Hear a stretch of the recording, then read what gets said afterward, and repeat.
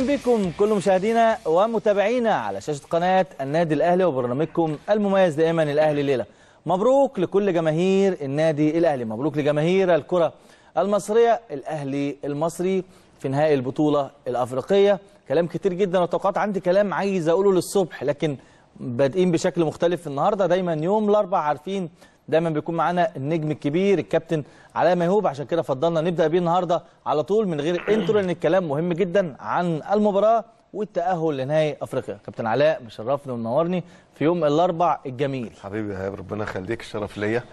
وحلاوة اليوم النهارده إن بعد تأهل للنهائي الحمد لله. ففرصة بقى. ظابط ميعاد الأربع. يا قبل ماتش مهم يا بعد يا ماتش بعد مهم. ماتش مهم. على طول كده. لا وحتى الطريق كلامنا أنا وانت آخر الأسبوع اللي فات اتكلمنا عن المباراة بتاعت امبارح قلت لك لا أنا مش قلقان وهنتأهل إن شاء الله النهائي والحمد لله رب العالمين. مبدئيا طبعا نبارك لجماهير النادي الأهلي الكبيرة جدا جدا جدا ومجلس الإدارة واللعيبة والجهاز الفني. كل حد بيحب النادي الأهلي في كل مكان. ألف مبروك وإن شاء الله نبارك بعد ما نفوز بالبطولة إن شاء الله. إن شاء الله. ال- الأهلي بيأدي بشكل متميز جدا. كلام كتير عن مباراه امبارح. شفتها إزاي من البداية؟ شفتها إزاي من التشكيل؟ شفتها إزاي؟ هل توقعت الأهلي هو اللي يبادر بالتهديف؟ آه، التشكيل كان كنت متوقع التشكيل. تمام الحمد لله. آه، كنا بنتكلم برضه يا يعني الحاجة الكويسة الأسبوع اللي فات اتكلمنا أنا وأنت في حاجات كتير جدا.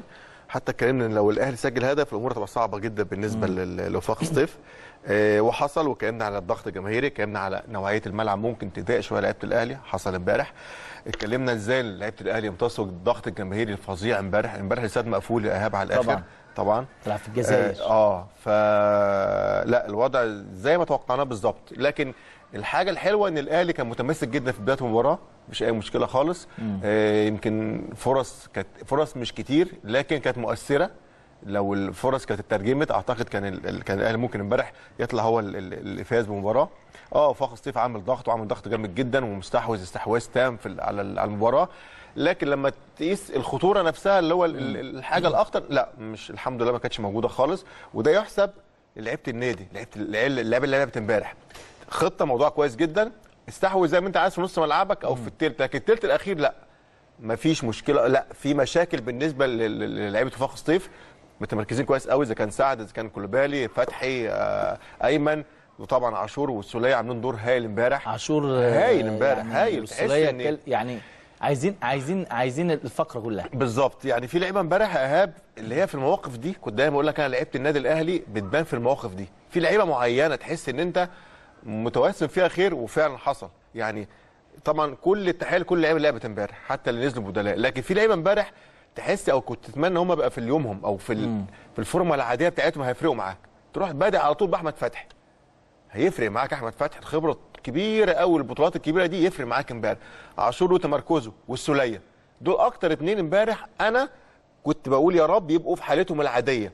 لأن هم دول اللي. هيدوك بالظبط ده المحور.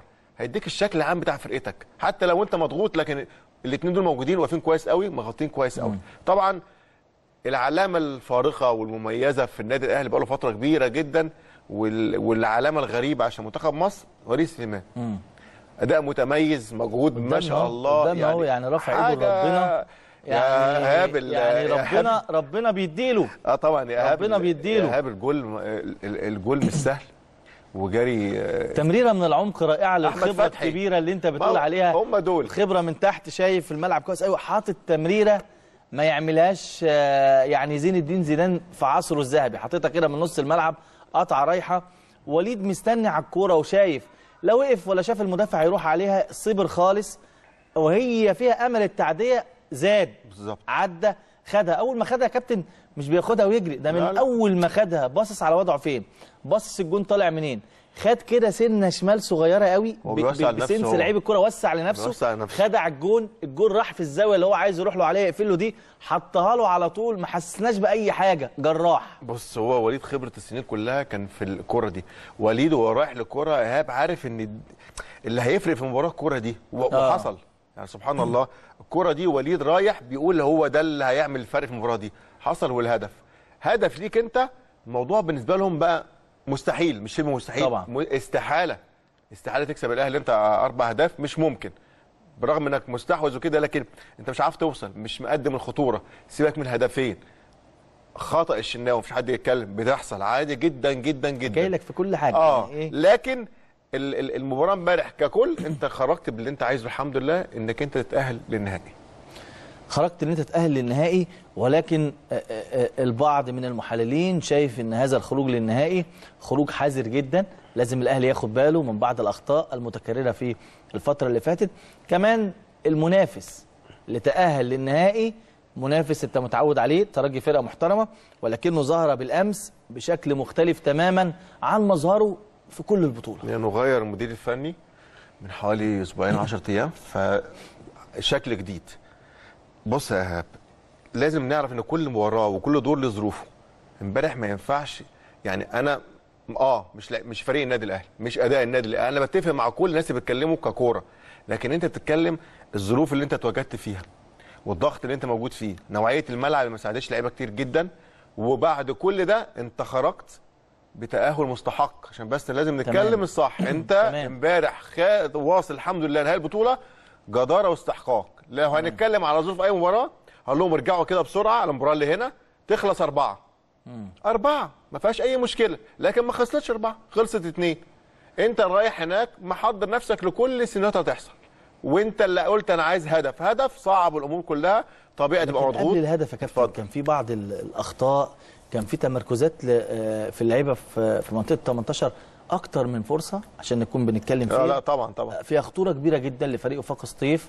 وضيعوها بغرابة شديده داخل المنطقة على على حدود السته أخطاء ممكن تحصل لكن مش لازم تتكرر. يعني أقصد لو فيها توفيق للمنافس بالظبط هيصعب عليكم الأمور صعبت تماما. بالظبط. بص يا بص يا ما أنا بقول لك إيه أنت امبارح مش عامل مباراة آه، كويسة. في أخطاء امبارح لكن في أخطاء ممكن تتعالج. أخطاء تقول الحمد لله إن هي إيه خرجت كده امبارح. ما هي. سبحان الله هي تعويض. أربعة هنا كنت امبارح خسرت خسرت 2 1 طبيعي جدا. لو هنتكلم نقول كانت في أخطاء طب ما أنا كان عندي أهداف هنا محققة جدا كنت لازم أطلع بأربعة هنا صفر. لكن في أخطاء في أخطاء. معالجة الأخطاء لما يكون أنت وصلت للنهائي يا ايهاب حاجة بالنسبة للمدير الفني مريحة. هوصل للنهائي في أخطاء حصلت ما تتكررش تاني. مع فريق مختلف مع نوعية لعيبة مختلفة مع نوعية جمهور مختلف الموضوع مع طبعاً. نوعية أرض مختلفة وده اللي بيفرق معايا أنا. مع في ميزة. انت بتعرف تلعب في تونس كويس انت عندك الميزة دي سبحان الله من زمان هي ميزة حلوة أي- لكن. لازم يبقى فيها حذر شوية يعني يعني هقول لك. فكره المدير الفني برضه للترجي شايف إن آه، مش عايز يلعب نهائي في رادس عايز يلعب في المنزل ما هو عايز يبعد عن الرادز آه. لأن الرادز وشه حلو على النادي الأهلي ده من زمان آه.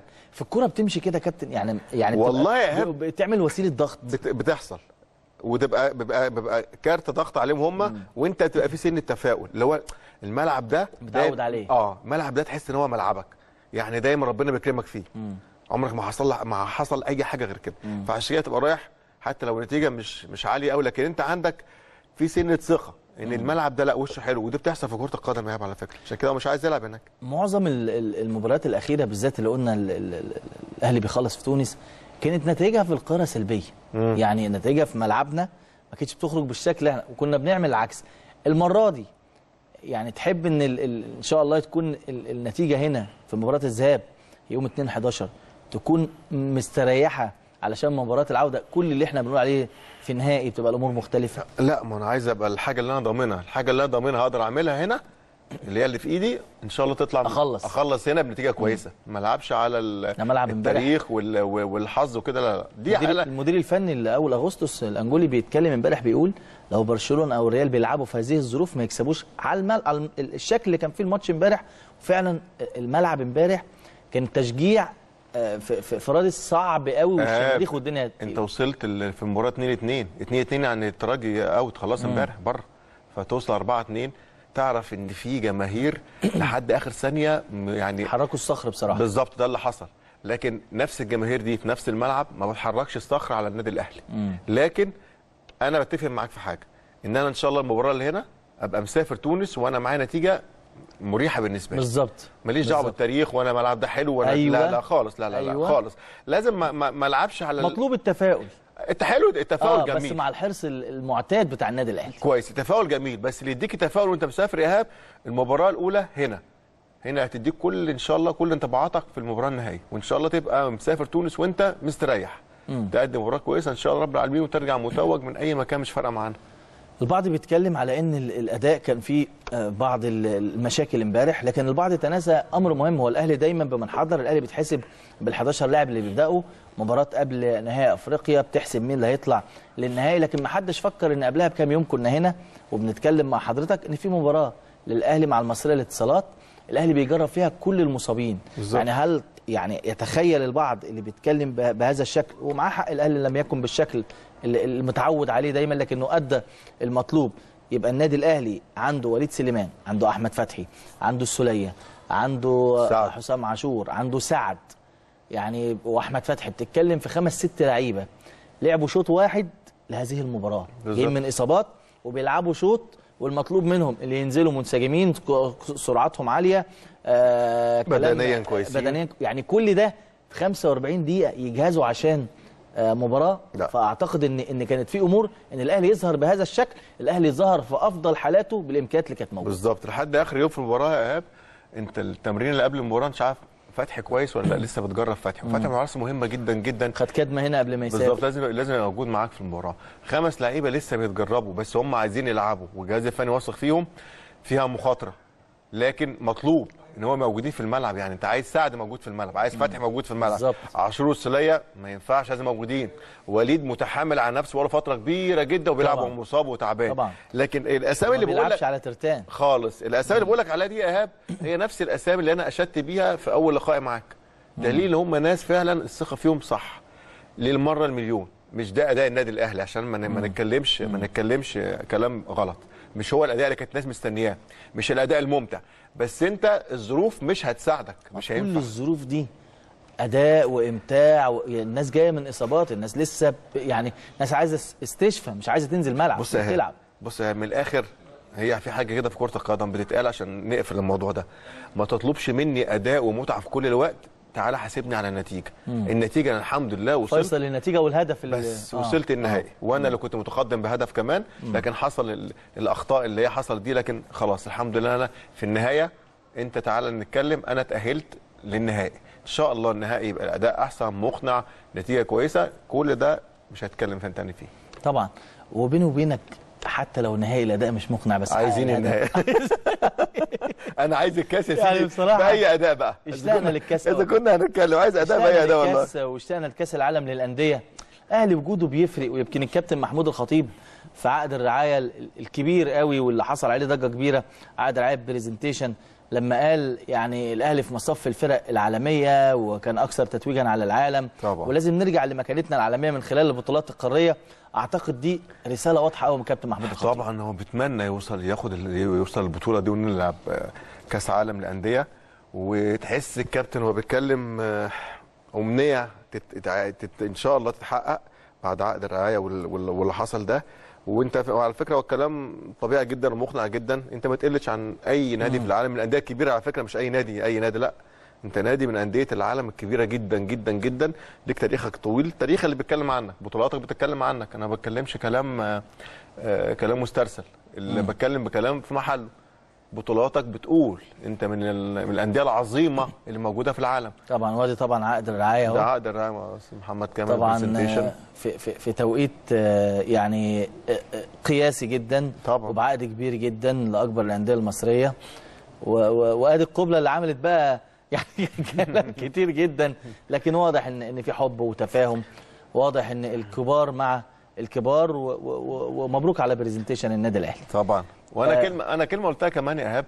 قلت آه، ماشي مبروك آه، النادي الاهلي عقد رعاية كبير ده بس مبروك على برزنتيشن اسم النادي الاهلي. اسم النادي الاهلي آه، ده الاسم محمد ألو... كامل قال الكلام ده؟ بالظبط. والله هو الراجل والله قال أنا ما سمعته على والله فكرة. بكى يا كابتن. يعني طبعا ده ده لابح احسن خلاص والناس كلها اتكلمت آه، فيه واتقال كل حاجة و- واتقال لبس نظارة حمراء وجرافته حمراء ويعني وقبل رئيس النادي ال- الأهلي. يعني واضح جدا إن الراجل قال جملة جملة وكفى. قال أنا النهارده لو مت أبقى راضي على اللي أنا عملت كل حاجة بعد ما قال كده وبكى. يعني عارف أنا يعني لا بس أنا بضحك على لو مت النهارده فاهم. هي صيغة مبالغة جامدة جدا لكن واضح إن في فرحة من الطرفين. بالظبط. من برزنتيشن وأكيد النادي الأهلي عمل عقد رعاية كويس جدا كابتن محمود الخطيب ومجلس إدارته. ودي حاجة تحسب لهم في هدوء خالص. هدوء على فكرة. مفيش حد كان عنده أي خبر. ده أنا اتبلغت كده بالليل عايزينك في في أيوه ده اللي أنا عارفه. وهنصور حاجة. عارف. فرحت عادي لابس وبتاع.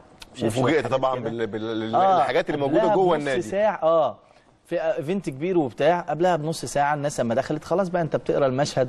عرفت لكن الموضوع أيوه أنت قريت المشهد وعرفت. آه. ناس كتير جدا ما كانتش تعرف إن برزنتيشن هيعمل عقد رعاية مع النادي الأهلي الوقت أو الصبح أو طبعاً، الساعة دي طبعاً. الموضوع كان في سرية تامة واتعمل على طول الصبح و... و... ال- الأهلي على آه الهواء لا حاجة جميلة جدا وكانت حاجة راقيه. على فكرة مؤتمر راقي جدا وحلو جدا وللمرة المليون مبروك لبرزنتيشن النادي الأهلي طبعا النادي الأهلي اسم يغطي أي حاجة طبعا آه في خبر هقوله كده مع حضرتك على. طول إن النادي الأهلي بيتقدم ببلاغ آه للنائب العام ضد المتجاوزين الأحد القادم. النادي الأهلي يتقدم ببلاغ للنائب العام ضد المتجاوزين الأحد القادم. قررت اللجنة القانونية المنعقدة بمقر النادي الأهلي بالجزيرة اليوم وبعد مطالعتها على جميع الشكاوي المدعمة بالوثائق الإعلامية المقدمة من أعضاء النادي الأهلي ضد التجاوزات التي تمت خلال الفترة الماضية ضد النادي على وسائل الإعلام المسموعة والمرئية والمقروءة ومن ثم كان لابد من إنفاذ القانون لمحاسبة المتجاوزين بتقديم بلاغا للسيد النائب العام ضدهم الأحد القادم لاتخاذ الإجراءات القانونية اللازمة كذلك استدعاء المتجاوزين من أعضاء النادي للتحقيق معهم خلال الأسبوع المقبل. أهلي ما بيهزرش زي ما أنتم عارفين مبادئ وقيم النادي الأهلي اللجنة القانونية رصدت كل التجاوزات هيكون بلاغات أمام آه، سيد النائب العام فكل من تجاوز تجاوز في حق النادي الأهلي أو مجلس إدارة النادي الأهلي أو الكيان الكبير. كذلك إذا كانت هناك بعض التجاوزات من أعضاء النادي. البعض اللي بينتمي عضويته للنادي والبعض اللي بيحاول يعمل بعض المشاكل اللي بيطلع على وسائل الاعلام وبيعمل بعض الأمور هكذا سيكون في وقفة وتحقيقات قانونية وهذه هي سياسة النادي الأهلي يعني بالقانون وبالهدوء تؤخذ الحقوق يا كابتن علاء. دي حقيقة. ودايما دي دي طبيعة النادي الأهلي. من غير أي هيصه من غير أي شوشرة تحس بتاخد حقك بهدوء. زي كنا بنتكلم عقد الرعايه الوقت. من غير في هدوء تام عملت عقد الرعايه بتاعتك. في هدوء تام برضه هتاخد حقك من كل من تجاوز في حق النادي الأهلي أو مجلس إدارته. نرجع تاني لل نرجع للشغل نرجع للكلام بتاعك. ونرجع للكلام في المباراة. آه، وقلنا ان إن اللعيبة اللي كانت مصابة واللي هي آه، ربما ما لحقتش تجهز بالشكل الكبير لضغوط المباريات. نفس القصة برضو انت راجع عندك ضغط مباريات بطولة عربية بالظبط. ترجع تاني تلعب أفريقيا. فبالتالي الضغوط كتيرة جدا في ظل آه، وليد أزارو آه، عنده آه، شد سمانة لسه هيتشاف إسلام محارب. واضحة جدا امبارح. آه بداية شد في في الأمامية. الأمامية. يعني برضو الضغوط عليك مستمر. هو بص يا ايهاب إحنا ما أحلى حاجة عارف بتحصل إحنا دايما بنتكلم فيها هنا أنا وأنت. اتكلمنا عن ضغوط المباريات والبطولات. بس أنا دايما بقول لك هي دي ضريبة النادي الأهلي إنك بتلعب في النادي الأهلي أو اسم النادي الأهلي. أي بطولة من غير اسم النادي الأهلي فيها مش بطولة. مع الاحترام الكامل لكل الأندية الكبيرة. اسم النادي الأهلي بيحل أي بطولة بيكبر أي بطولة بيطمع أي حد يقول لك أنا عايز أخش بطولة عشان أكسب النادي الأهلي أو أخد البطولة دي من النادي الأهلي. أخد البطولة من النادي الأهلي هو في هدفين. خد البطولة واتكتب إنه كسب النادي الأهلي. هي دي الضريبة اللي بيدفعها النادي الأهلي ولعيبة النادي الأهلي. النادي الأهلي هيرجعوا النهارده من السفر بكرة في تمرين. هم رجعوا بالسلامة أو رجعوا وإن شاء الحمد لله رب العالمين. هنعمل آه، تليفون مع الكابتن محمد يوسف الله الأمور عشان نطمئن الله. على الفريق. بكرة في تمرين. شوف الإصابات شوف الناس المصابة يلحق يعالج بسرعة عشان عندك ال- الوصل الإماراتي. تخش على الوصل الإماراتي عندك الأهم اللي هو الترجي. الوصل الإماراتي ممكن حتى اللعيبة اللي هي فيها شك أعتقد مثل الكرتونين ممكن يريح على حسب الإصابة أو حسب حجم الإصابة. وليد أزارو كان شد في السمانة وظهر امبارح في لقطة في المباراة. أنت تخيل واحد بيجري لحد اخر آخر ثانية عشان كده بقول لك هي تحس إن هو متربى في النادي الأهلي. خلاص شرب عايزين بطولات آه، هو ده هو ده النادي الأهلي. بيحاربوا لآخر ثانية امبارح في أجواء صعبة جدا. يا ايهاب والجري على الملعب الترتان ده لسه يعني بقول لك مش طبيعي. لا لا آه. لا اللي مجرب الموضوع ده يحس إن هو تعب. اللعب على مرا- في مباراة ترتان أكنك لعبت ماتشين على أرض عادية. عشان كده بقول لك هم الضغوط عليهم كتير جدا لكن كل الشكر وكل التقدير ليهم. هم خرجوا الحمد لله بالبطاقة اللي إحنا عايزينها بطاقة التأهل. التاهل بقى في حسابات تانية وفي لا كلام حسابات تاني لسه. ولسه وكل ماتش وليه ظروفه. بالظبط. في التغيير الأخير البعض كان بيبص أزارو هيطلع ولا وليد؟ آه، أزارو آه، يعني ظهر عليك قصة الشد لكن وليد صعب جدا يلعب على الترتان ومكمل المباراة لكن هتطلع الدماغ اللي بيحرك ولا هتطلع اللي ممكن لو راح بواحدة وهو أساسي فيرود هو اللي يروح؟ ففي الآخر الراجل طلع وليد وساب أزارو. لأن هقول لك حاجة هو امبارح كانت طريقة مستر كارتيرون معتمدة على دي أهي. معتمد على قافل نص ملعب كويس قوي ومعتمد على الباص الطولي من وليد لوليد. وحصلت منتهى الجمال. كورة الوليد لوليد أزارو اللي اتعمل بالعرض الحمودي. حمودي. طبعا حظ وحش الحارس طلع كويس قوي وهو حظ وحش فيها. أنت متخيل إيهاب الكورة دي لو دخلت هدف؟ كرة تتحط على طول ولا يقف عليها يريح لا ما يقفش لأن ما يقفش آه بس ما تحطش كده. آه. لازم كانت تعلى سن. لأن آه. هو جون جاي نايم على الأرض. آه. لكن هو حطها يعني على الأرض. لكن هي لازم تعلى سن لكن هي اتعملت حلو قوي. وهو ده اللي كان بيلعب عليه مستر أحلى جمله كابتن في المباراة امبارح. حلوة. لا لا آه، حاجة جملة حلوة. ممتعة. ما أنا بقول لك هي دي الجملة كان بيتمرن عليها على فكرة هنا. هنا. مقفل كويس قوي من وليد لوليد التكملة الحمودي إذا كان إسلام. هيزيد، آه. هي دي اللي هيزيد. وهو وليد أزارو ما كان لازم امبارح يكمل عشان الحتة دي. سرعات ما شاء الله كويسة قوي. وعامل. مشكلة للاثنين مساكين. ما ين- ما ينفعش يتساب. ان ده يتساب هيبقى واحدة خلاص انفراد لحمودي. فبقول لك تخيل كده ايهاب لو كرة حمودي كمان دخلت من بدري قوي كده. إيه الشكل بتاع الملعب؟ أو إيه شكل المباراة؟ كان هيتغير طبعا. فهو في حاجات على فكرة المكسب مش جاي أو التأهل مش جاي حظ. لا في ناس بتشتغل وناس تعبت وناس شغالة على حاجة معينة وناس تعبت جدا وناس جت على نفسها زي وليد سليمان يلعب على ترتان. وأستاذ أنا عارف بيتعبوا جدا وبيكمل. أحمد فتحي جاي من إصابة بيكمل. وليد سمانة بيلعب. لا الناس كلها بتضحي. كله بص يا إيهاب الناس كلها ما شاء طلع ب الله. 50% من قوام الفريق جاي من إصابات. بس. و30% التانيين داخلين على يعني ربنا ده ده. ده, ده ده اللي هو ناس كتير ما تعرفش إن أنت مش كامل. بدنيا في خمس لعيبة في الملعب مش كاملين بس ما ينفعش ما يلعبوش. عشان دي مباراة بتاعت الناس دي بتاعت اللعيبة دي. ما ينفعش الأجواء دي ترمي فيها حد صغير. هتتعب وهو هتحرقه بدري. لكن كل تحية لكل امبارح اللي ادى في المباراة. خطأ الهدف الأول وخطأ واقف يعني واضح فيه ضغوط على حارس المرمى وأجواء المباراة ولكن بتحصل. لكن هو الخطأ ده صعب المباراة شوية. هقول لك بقى هو مش ضغطا للمباراة هو شوية هدوء المباراة. الهدف اللي إحنا جبناه اطمئنان زيادة. بس هي دي الم- اللي إحنا أصل انت كل مصر كل الدنيا بتتكلم بيقول لك إيه؟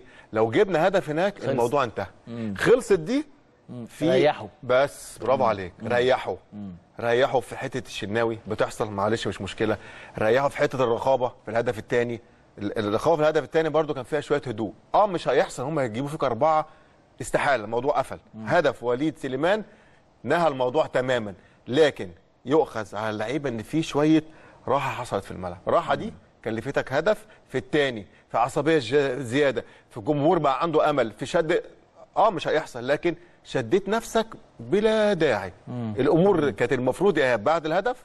أنت خلاص استريحت تماما. سيبه هو مشدود سيبه هو عصبي. لكن راحة بس راحة إيجابية. تركيزك بس أنت خلاص. اللي أنت عايزه مباراه حصل. في المقابل آه، لأن المباريات وكرة القدم ما بتعرفش غير لغة الأهداف. في. المقابل آه، فريق الترجي الدنيا لما زنقت قدر. قدر يعني. في مباريات ممكن الدنيا بترجع فيها تاني. عشان أنا بقول لك في في في, في وقت جه في المباراة 2 2 على أرض الترجي رجعت ما هي دي كرة القدم ترجع. لكن امبارح يعني لما يتقدم المنافس اللي جاي على ملعبك آه، أول أغسطس تقدم بهدف خلاص هو كده يعني ريح الجيم تماما. تمام. وبعدين ال- ال- الترجي بيتعادل. بعدين بيكسبوا اتنين. بعدين آه، أول أغسطس بيتعادل. ده بقى خلاص كده المباراة المفروض انتهت. بس هنا بقى روحك. روح اللعيب وشغل اللعيب وجماهيرك اللي بتشجعك من بره. عارف تحس إيه يا إيهاب؟ نفس جديد حصل في الماتش. نفس تاني؟ خلاص لا ما ينفعش. 3 2 4 2 هو اللي اتأهل. هو دي اللي كرة القدم. لكن انت انت عايز تقول لي مثلا كان ممكن يحصل امبارح كده في النادي الأهلي؟ صعبة شوية. لا لا مش عايز أقول كده. عايز أقول إن إن إن إن حتى لما الأداء بيقل شوية آه، أو الأداء ما بيقلش حتة إن المنافس يجيب أهداف أو ما يجيبش في النهائيات وفي قبل النهائي كله بقى متجرأ عايز روح. بالظبط. يعني بقول فرقة زي أول أغسطس بره ملعبها فرقة أفريقية الفرقة الأفريقية بره ملعبها بتهاجمش بشكل كبير ده. بتدافع على طول. آه، بتبدأ آه، بالتسجيل وبعدين آه، بتتأخر بهدف وبعدين بتعوض بهدف. في ظل أخطاء رهيبة لحارس مرمى المنتخب التونسي نفس القصة. يعني لقينا خطأ هنا هو- والدنيا رجعت بشكل تاني. بالظبط. هو خطأ حارس مرمى لا يغتفر ما هو بقول لك غلطة الشاطر بمليون. الشناوي وحارس مرمى الترجي التونسي امبارح. دايما يا إيهاب أما تكون عايز تكسب أنت كفريق عشان كده بقول لك أنا إيه لما كنا بنتكلم قبل المباراه بقول لك هم عايزين يكسبوا أكتر من هدفين فأنت المساحات موجودة فأنت لو لعبت على هدف كل الكلام ده إحنا قلناه والحمد لله اتحقق بهدف وليد. والأمور اتصعبت عليهم وحصل اللي حصل في المباراه امبارح والتسلسل الأحداث. لكن ما هو بقول لك إيه كل مباراة بتطلع منها بفايدة. حتى لو غلط بفايدة. الفايدة إيه؟ إنك تكسب واحد حتى لو كسبان واحد تهدى في الملعب لكن تركيزك زي ما هو. تبدأ مركز النتيجة صفر صفر. ممكن تحصل أي حاجة. طبعاً، أنت قلت طبيعي. كلمة حلوة إن في كرة القدم لحد ما الحكم يصفر. طبعاً. في ماتشات بتخلص في الثانية الأخيرة من وقت الضايع. عشان كده درس امبارح اتعلمناه. درس اتعلمه الشناوي. وطول ما انت بتلعب وطول ما انت عايش هتتعلم. على فكرة مش غلط. لا والدروس دي لما تيجي في التوقيت دي وكده كده انت متأهل. مقبولة. بس جميلة. مقبولة. بس خلاص انت خدت ديفنس وتعلمت. بس اللي هي إيه؟ أنا مش هكرر خطأ تاني. أك... بص يعني أنا بقول لك دايما حاجة وهفضل اقولها كده على طول. دايما اتعلم من كل مباراة خد الأخطاء بتاعتك. ما تاخدش الحاجة كويسة. حاجة كويسة إن شاء الله تتنمى. نتعلم إيه من مباراة امبارح؟ مباراة امبارح. مبدئيا كده تركيزك من أول الحكم ما يصفر لحد ما الحكم يصفر الصفاره الثانية لازم يبقى واحد. لازم يبقى واحد. تركيزك لازم لحد حتى لو الجيم انتهى ماليش. دعوة خالص لحد الدقيقه 90 تمام. لازم أبقى مركز فيها كويس قوي خلاص؟ الحاجة الثانية في أوقات كده لازم أنت تهدي تهدي أدائك شوية في الملعب. ما تخليش المباراة على رتم واحد. امبارح المباراة كلها سرعة سرعة. لازم تهدى شوية. لازم شوية هدوء يعني تغييرة محمد هاني اتعملت امبارح ليه؟ مستر كارتون واضح إن في ضغط بقى على أحمد فتحي كبير. اللعب كله اتنقل على أحمد فتحي. وهيلعبوا كور طويلة. أحمد فتحي بسبب آه، قلة خبرات حمودي مثلا الدفاعية؟ أو جايز مجهود خلاص تعب. آه. خد بالك أحمد فتحي بقاله كتير ما كانش بيتمرن. وأحمد فتحي إصابة. وهم كمان بقى بيهاجموا بكثافة كبيرة جدا. هي مش مش آه، مش حد آه، يعني آه، أثر في مسؤوليته. لكن هو خلاص بقى اللي هو إيه لازم بكل هجوم بكل اللي عندي. عشان كده لازم كان يعمل حتة تدعيم عند أحمد فتحي. والتدعيم مش دفاع بس. كويس. هو كمان طلب من هاني إن هو يكمل الحتة دي لقدام. طبعا. يخف الضغط. يعمل دي. بس يخف الضغط على أحمد فتحي ويخف الضغط على فرقته. شوية التغييرة دي. آه معاك. كانت لازم تبقى بدري شوية. يعني باينة من الأول إنهم بيلعبوا على. بالظبط. وكانت لازم تبقى بدري شوية. بعد الهدف الثاني كان لازم بدري شوية. حتة إن أنا بس هو مستر كاترون دايما إن في في كام لعيب في الملعب يا إيهاب برضه خد بالك. مش مطمن مش متأكد هم في حاجة. ما كان عندك وليد ووليد وإسلام بدأ يشتكي ثلاثة في الملعب. وأنت آه. عايز تعمل تغييرة تدعم بيها في- دفاعيا شوية بالظبط. وعلى فكرة مش عيب. أما دعم حاجة أما يعمل تغييره دفاعية عشان أكسب بيها مباراة مبدئيا في كرة القدم مش عيب خالص. ده أنا في قبل نهائي أفريقيا. بالظبط ما أنا بقول لك يعني هي عامة مش مباراة عادية. بالظبط هي مش محتاجة أصلا يعني آه، فزلكة كروية. أنا بنزل هاني آه عشان أعمل تدعيم ناحية اليمين لأحمد فتحي وفي نفس الوقت هاني بصغر السن ولسه بدنيا كويس. لو هياخدوا الكورة هيطلع بيها وعملها أكتر من مرة وهبط الأداء خالص بتاع وفاق سطيف طبعا كان ال- ال- الشكل ابتدى آه، يعني يعني بعد ال- ال- الهدف الأول الأمور يعني برضه كانت ماشية في النصاب. بعد الهدف الثاني كان في صحوة بقى عند لعيبة. خلاص بقى رجع الجيم اتشد تاني رجعت لعيبة الأهلي القلق. تركيزها اللي هو خلصت. القلق بدأ تاني. بس قلق إيجابي. في قلق سلبي يوديك في داهية. ده قلق إيجابي. لا اللي هو ما ينفعش. الكلام اللي أنت قلته اهي إيه ده 2 1 طب ما أنا ممكن في ثانية يبقى 3 1 خلاص ده جونين جون في مفيش 3 1 الدنيا تهيج ممكن حكم يبيعك في ثانية. في في الظروف دي ما فيهاش مشكلة. بس هو- الحمد هو- لله امبارح طبيعي إن الحكم يحكم كويس بس حكم امبارح جنوب أفريقيا لازم أحييه بصراحة. هي لسه أقول لك أهو. لازم أحييه. بص يا ايهاب امبارح الحكم والاثنين لايمان آه. ما فيش غلطة. ده بتوع نهائيات. يعني هم دول يتحطوا في الماتشات ده. لأن المباراة اللي قبلها مباراة تونس وأول أغسطس قلقت من, آه. من الحكم اللي فيها وتتغاضى عن هدف صحيح بالظبط. جدا لبطل انجولا بالظبط. لكن حكم امبارح والطاقم كويس فكرتني هايلين امبارح. والحمد لله على فكرة من حظ لعيبة الأهلي. آه. الأجواء دي ايهاب امبارح اللي موجودة ممكن تطلع أي حكم عن لا ده أنا تركيزه. هقول لك على حاجة حلوة بقى في اتفضل. النهائي النهائي بيطبق الفار. طب حلو الحمد لله. يعني شفت بقى جميله يعني. حاجة كويسة؟ دي. آه طبعا. آه حاجة مطمئنة الأفريقي كان جدا. اعلن مسبقا ان نهائي دوري الأبطال السنة دي. هيطبق الفار في المباراتين طب الحمد لله. فبالتالي دي حاجة دي حاجة مطمئنة. ده حاجة لا مطمئنة. ما النهائي. أنا كنت بتكلم امبارح. أيوه لا. يعني أقصد إيه؟ اللي جاي حلو. اللي جاي. لا لا خلاص. بص آه. اللي جاي كل حاجة كويسة جاية حلوة الحمد لله. ده ما عديت امبارح ما فيش حاجة ما فيش مشكلة. ما دام بتكسب ورايح للبطولة اللي نفسك فيها كل حاجة هتبقى حلوة. حصلت امبارح حاجة يعني فعلا الواحد لازم يتعلم من اخطائه لو نرجع لل- لل- لل- للموسم اللي فات مع التأهل للنهائي الأفريقي بعد التأهل للنهائي الفريق انفتح قوي واللقاءات اشتغلت التلفزيونية و مع الجهاز واللعيبة والدنيا وكأن الأهلي أخذ البطولة.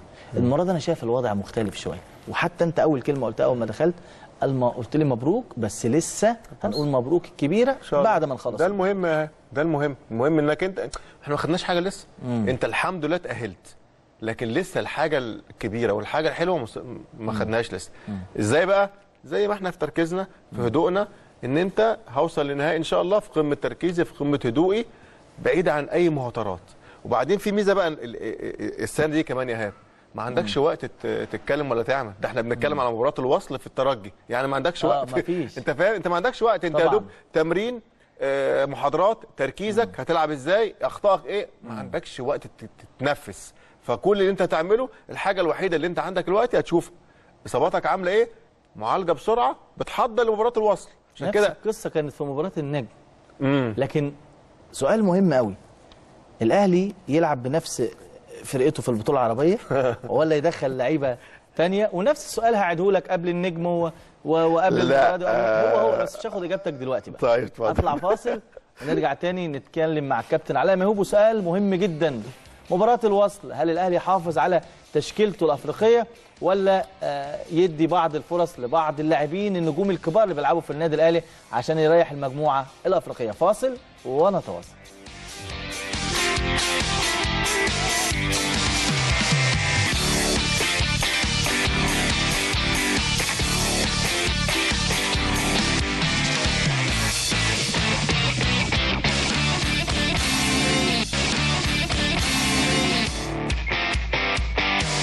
أهلا بكم من جديد كل جماهير ومتابعي قناة النادي الأهلي وبرنامجكم المميز دائما الأهلي ليلة. بنجدد ونقول مبروك لكل الجماهير المصرية وجماهير الأهلي تأهل الأهلي للنهائي الأفريقي. وقبل الفاصل كنا بقول للكابتن علاء ميهوب الأهلي هيعمل إيه؟ كل شوية هتطلع من هنا هتخش هنا. عندك بطولة عربية وأنت ماشي في البطولة الأفريقية. كارترون والجهاز الفني يعملوا إيه؟ بجد والله يعني الله. يكون في عونهم. يعملوا إيه في ظل اللي إحنا بنتكلم فيه ده كله؟ وعندهم مباراة برضه مهمة في البطولة العربية. الله في عونهم دي- حقيقة. زي ما بقول لك أنا ال- الزحمة جدا وكلها مباريات مهمة جدا. إلى جانب عندك إصابات. لكن دايما يا إيهاب أنت بتبص للأهم. امم الأهم إيه دلوقتي؟ البطولة اللي أنت عايزها. بطولة أفريقيا. طبعا. بس. يبقى أنت كل تحضيراتك وكل تفكيرك توصل لعيبتك إزاي للمباراة النهائية. سلام. مفيش إجهاد. وعندك زي ما بقول لك عندك نجوم كتير جدا في فرقتك ممكن يأدوا وهيأدوا مفيش مشكلة في الأداء على فكرة خالص هيأدوا الأداء اللي أنت عايزه باسمهم بلعبهم بكل حاجة. فعشان كده بس هتزود نسب بقى. اتفضل. يعني نسب ال- الإصابة هتبقى أزيد. ال- يعني ما دي ماتشات مش مش ماتشات سهلة. ما أنت مش بتلعب ماتشات في سهلة. ماتشات يعني بس إحنا متفقين على على حاجة. إحنا. بنتكلم أنا وانت دردشه آه. بعيد عن لو لو أنا المدير الفني. لا ما ده جاي لك فيها برضه ما انت هتروح طيب. كده هجي لك بعيد عن مثلا كارترون خالص. لكن لو أنا بفكر لو أنا في لو أنا في المكان ده هفكر الناس المصابة إزاي اريحها المجهدة في المباراة دي ويلعب ناس موجودة عايزة تلعب وناس سليمة ونجوم هيأدوا أداء مقنع جدا جدا جدا وعايزين يلعبوا. اتفقنا في مباراة المقصه فرقة بتلعب وبرجاوي جاب لك المشهد على الشاشة وفرقة تانية نازلة. بالظبط. ولعبتك كان جزء في المنتخب الأولمبي وجزء في المنتخب الأول. واتكلمنا أنا وانت يعني قلنا- عندك. أيوه ما هو- ده اللي مريحك. واتكلمنا أنا وانت أنا فاكر قلنا ما شاء الله فرقه فرقتين في الملعب. آه، بالظبط. ودي الحمد لله الحاجة اللي مريحاك السنة دي في النادي الأهلي. عندك ناس كتير قوي جاهزة وكلهم نجوم وفيهم دايما بقول لك أنا في حاجة في ميزة. كله عايز يلعب كله عايز يأدي. حتى لو مباراة ودية عايز لا أنا عايز ألعب. عايز يبقى ليا مكان في فريق النادي الأهلي. ودي حاجة مع المدير الفني كارت كويس جدا في إيده. ويقدر يريح لعيبته يطمن عليها. ايهاب دايما بتبص على الحاجة وبعدين أصل الحاجة المهمة أنت حاجة مستنيها أنت وجماهيرك بفارغ صبر. ولعيبتك ولعيبتك اللي عملوه اللعيبة بص امبارح. يا ايهاب النادي الأهلي كله بكيانه بجماهيره بكل حاجة تخص النادي الأهلي عايزه البطولة دي. فأنت طبيعي كمدير فني أنا بفكر في إزاي أوصل للنهائي إن شاء الله. بدنيا كويس قوي سليم كل نجوم موجودين. واطمن على نجومي وليه ما اطمنش كمان الناس ما بتلعبش؟ ده فرصة على فكرة. يعني انت الكلام اللي انت بتقوله ده يا إيهاب حاجة حلوة في إيه؟ فرصة مباراة الوصل دي طب ما أنا ممكن كام نجم كده يلعبوا ويبقوا معايا فايده ليا واللعيبة جاهزة و... أي لعيب النهارده بيلعب في النادي الأهلي هيأدي في المكان اللي هتحطه يا فيه إيهاب أمنية أي لعيب إن يلعب في النادي الأهلي. فما بالك لعيبة موجودة في النادي الأهلي وعايزة تلعب. إيهاب أحمد الشيخ لما نزل ماتش آه، ترسانة إيه اللي حصل؟ لا، ده طبعا جاهز. بس. لعب آه. قد إيه أحمد الشيخ؟ آه. ولا كان فين أحمد الشيخ؟ الراجل نزل تحس هو كان في النادي الأهلي. وبيلعب معاهم عادي جدا وهدف و... لا الأمور ماشية. فالحمد لله أنت عندك مجموعة نجوم موجودة جاهزة. محمد شريف مش مقيد افريقيا وراجل يعني اتكلمنا عليه. لا أس... آه. بص هو الحمد لله بنتكلم انت على حد هنا بنتكلم الكلام اللي اللعيب يستاهله. ولا بن... بن... بن... بننافق ولا بن... بنقول أي كلام. لا كل لعيب بياخد على قد ما بيدي مجهود. على قد إحنا ما بنشوفه. ما أنا بقول لك لعيب الكوره دايما بتشاف في الملعب. حتى لو انت مش شايفينه لكن جماهير النادي الأهلي بتفهم كوره يعني حاجة طبعاً. ممتعة. يعرفوا مين الكويس مين الوحش مين اللي بيأدي مين اللي عايز يلعب مين اللي نفسه في فرصة مين اللي مش مش مركز. الجماهير بتاعتك ما شاء الله عارفة كويس قوي لعيبة النادي الأهلي إمكانياتهم إيه وممكن يأدوا إيه. أكيد آه، ده واضح. واكيد واضح زي ما انت بتقول يا كابتن ان في أكتر من لعيب جاهز وان الاهلي يمتلك فرقتين لأن من الطبيعي انك تحافظ على القوام اللي بتلعب بيه بالظبط. خاصة ان ان ان النهارده اي اصابة وليد ازارو اسلام محارب اي لاعب ربنا يحمي اللعيبة كلها وليد سليمان بعد ماتش كبير قوي على الترتان لازم يجي يهدى. شوية طبعاً. طبعا طبعاً. ف ف فبالتالي القصة مش مستحملة الفترة دي ومفيش وقت خالص انت لأول مرة برضو الكابتن الخطيب قال ده في مؤتمر رعاية انت بتلعب بطولتين افريقيتين في موسم واحد. بالظبط. لا احمل موسم في موسم. ودخلت لك على بطوله عربية وهتنسى. لا ما هو أنا كل ده موجود. ده انت دخلت انت, انت لو. عديت عدد البطولات اللي الأهلي بيشارك فيها هو أكبر نادي في العالم بيشارك في في. قدرك عشان انت اسمك النادي الأهلي. بس كل حاجة ليها مقابل. انت النادي الأهلي. بس. ادي اللقطة اهي طبعا. آه دي اللي دي اللي دي اللي آه. بص ما شاء وزي الله ما انت عارف يا برجاوي إحنا آه، بنحطها برجاوي معانا. الخشب ونشيلها على طول نفكر آه الناس على بس. طول. آه بقول لك ما شاء الله يعني غير الناس اللي كانت بره كمان. فالحمد لله انت الأمور عندك. بالنسبة لكم اللعيبة ال- اللي جاهز لا الحمد لله حاجة آه، ما فيهاش قلق خالص يا ايهاب إحنا كل قلقنا بنتكلم أنا وانت ان الإصابات اللي حصلت في مباراة امس يرجعوا إن شاء الله يبقى إصابات بسيطة مع مع الأربع خمس أيام يبقى كل حاجة تمام. عشان المباراه المباراة الأهم. مع كل احترام مباراه الوصل ولاعيبه الوصل ونادي الوصل لكن انت دايما بتدور على الأهم. الأهم الأول إن شاء الله الترجي إن شاء الله هنا في القاهرة. أرجع للسؤال اللي أنت كنت هتسأله لنفسك. لو. أنت بقى مدير فني آه، بتعمل الحاجات دي إزاي؟ آه، لو أنا مدير فني من النهارده هقفل صفحة الترجي. ما تستغربش على فكرة. هبدأ أركز في الوصل. وهبدأ من النهارده هم طبعا وصلوا الحمد لله بالسلامة هبدأ من النهارده أشوف الناس اللي بتشتكي من إصابات إيه؟ وأبدأ من بكرة أبدأ أتابعهم. هبدأ من النهارده البدائل الموجودة إيه عندي؟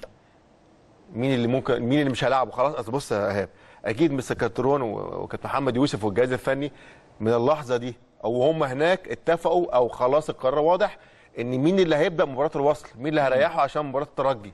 وده على فكرة مش عيب. ومش لازم يريح بره الفريق خالص ممكن يبقى على دكة البدلاء لو احتاجه لكن مش هيبدأ بيه.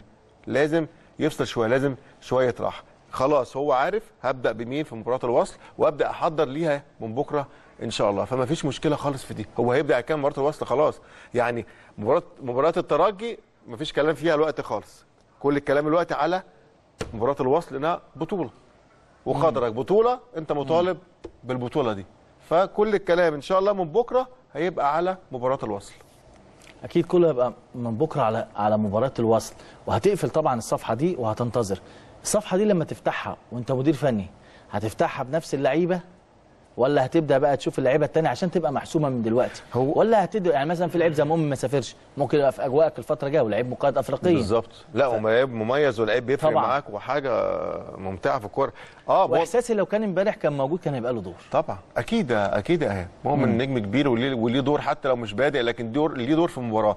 لكن زي ما اتكلمنا فيها أنا وأنت قلنا هو كان مشغول بحتة التجديد وكده وخلصت. مؤمن أكيد هيبقى ليه دور ال- المباراة وخلصت. وخلصت. تقريبا خلصت يعني. أنا آه وخلص إن شاء الله ما- خلصت آه يعني. ما هو أنت عارف أنت كلامك بيتاخد آه وخلصت. إن شاء الله تبقى خلصت. خلصت. إن شاء الله تبقى خلصت. آه لا مؤمن أكيد ليه دور المباراة القادمة. ان مؤمن أنا متأكد بيتفرج على المباراة امبارح وكان نفسه موجود في الأجواء آه. آه. دي في الشغل ده مع زم مع مع مع, مع زمايله يوصل إن شاء الله النهائي. فأكيد مؤمن هيبقى موجود. كل ده اتحدد إيهاب على إصاباتك اللي حصلت امبارح والوقت اللي هيتاخد فيه. لكن القوام نفسه موجود خلاص القوام نفسه موجود. قوام الفريق ما أعتقدش فيه تغيير كتير. يعني مثلا ال- الأربعة اللي ورا خلاص اطمن امبارح سعد لعب مباراة كاملة على ترتان. بعد إصابة اطمن على سعد بدنيا كويس الحمد لله. فتحي خلاص الحمد لله كله بالي وإذا كان أيمن أشرف وأدى أداء هايل امبارح أيمن من لعب ناحية شمال سوليه الحمد لله سليم مع عمرو مع عاشور دول اتنين جاهزين. لا عندك يعني ت- 80% من فرقتك أكيد جاهز.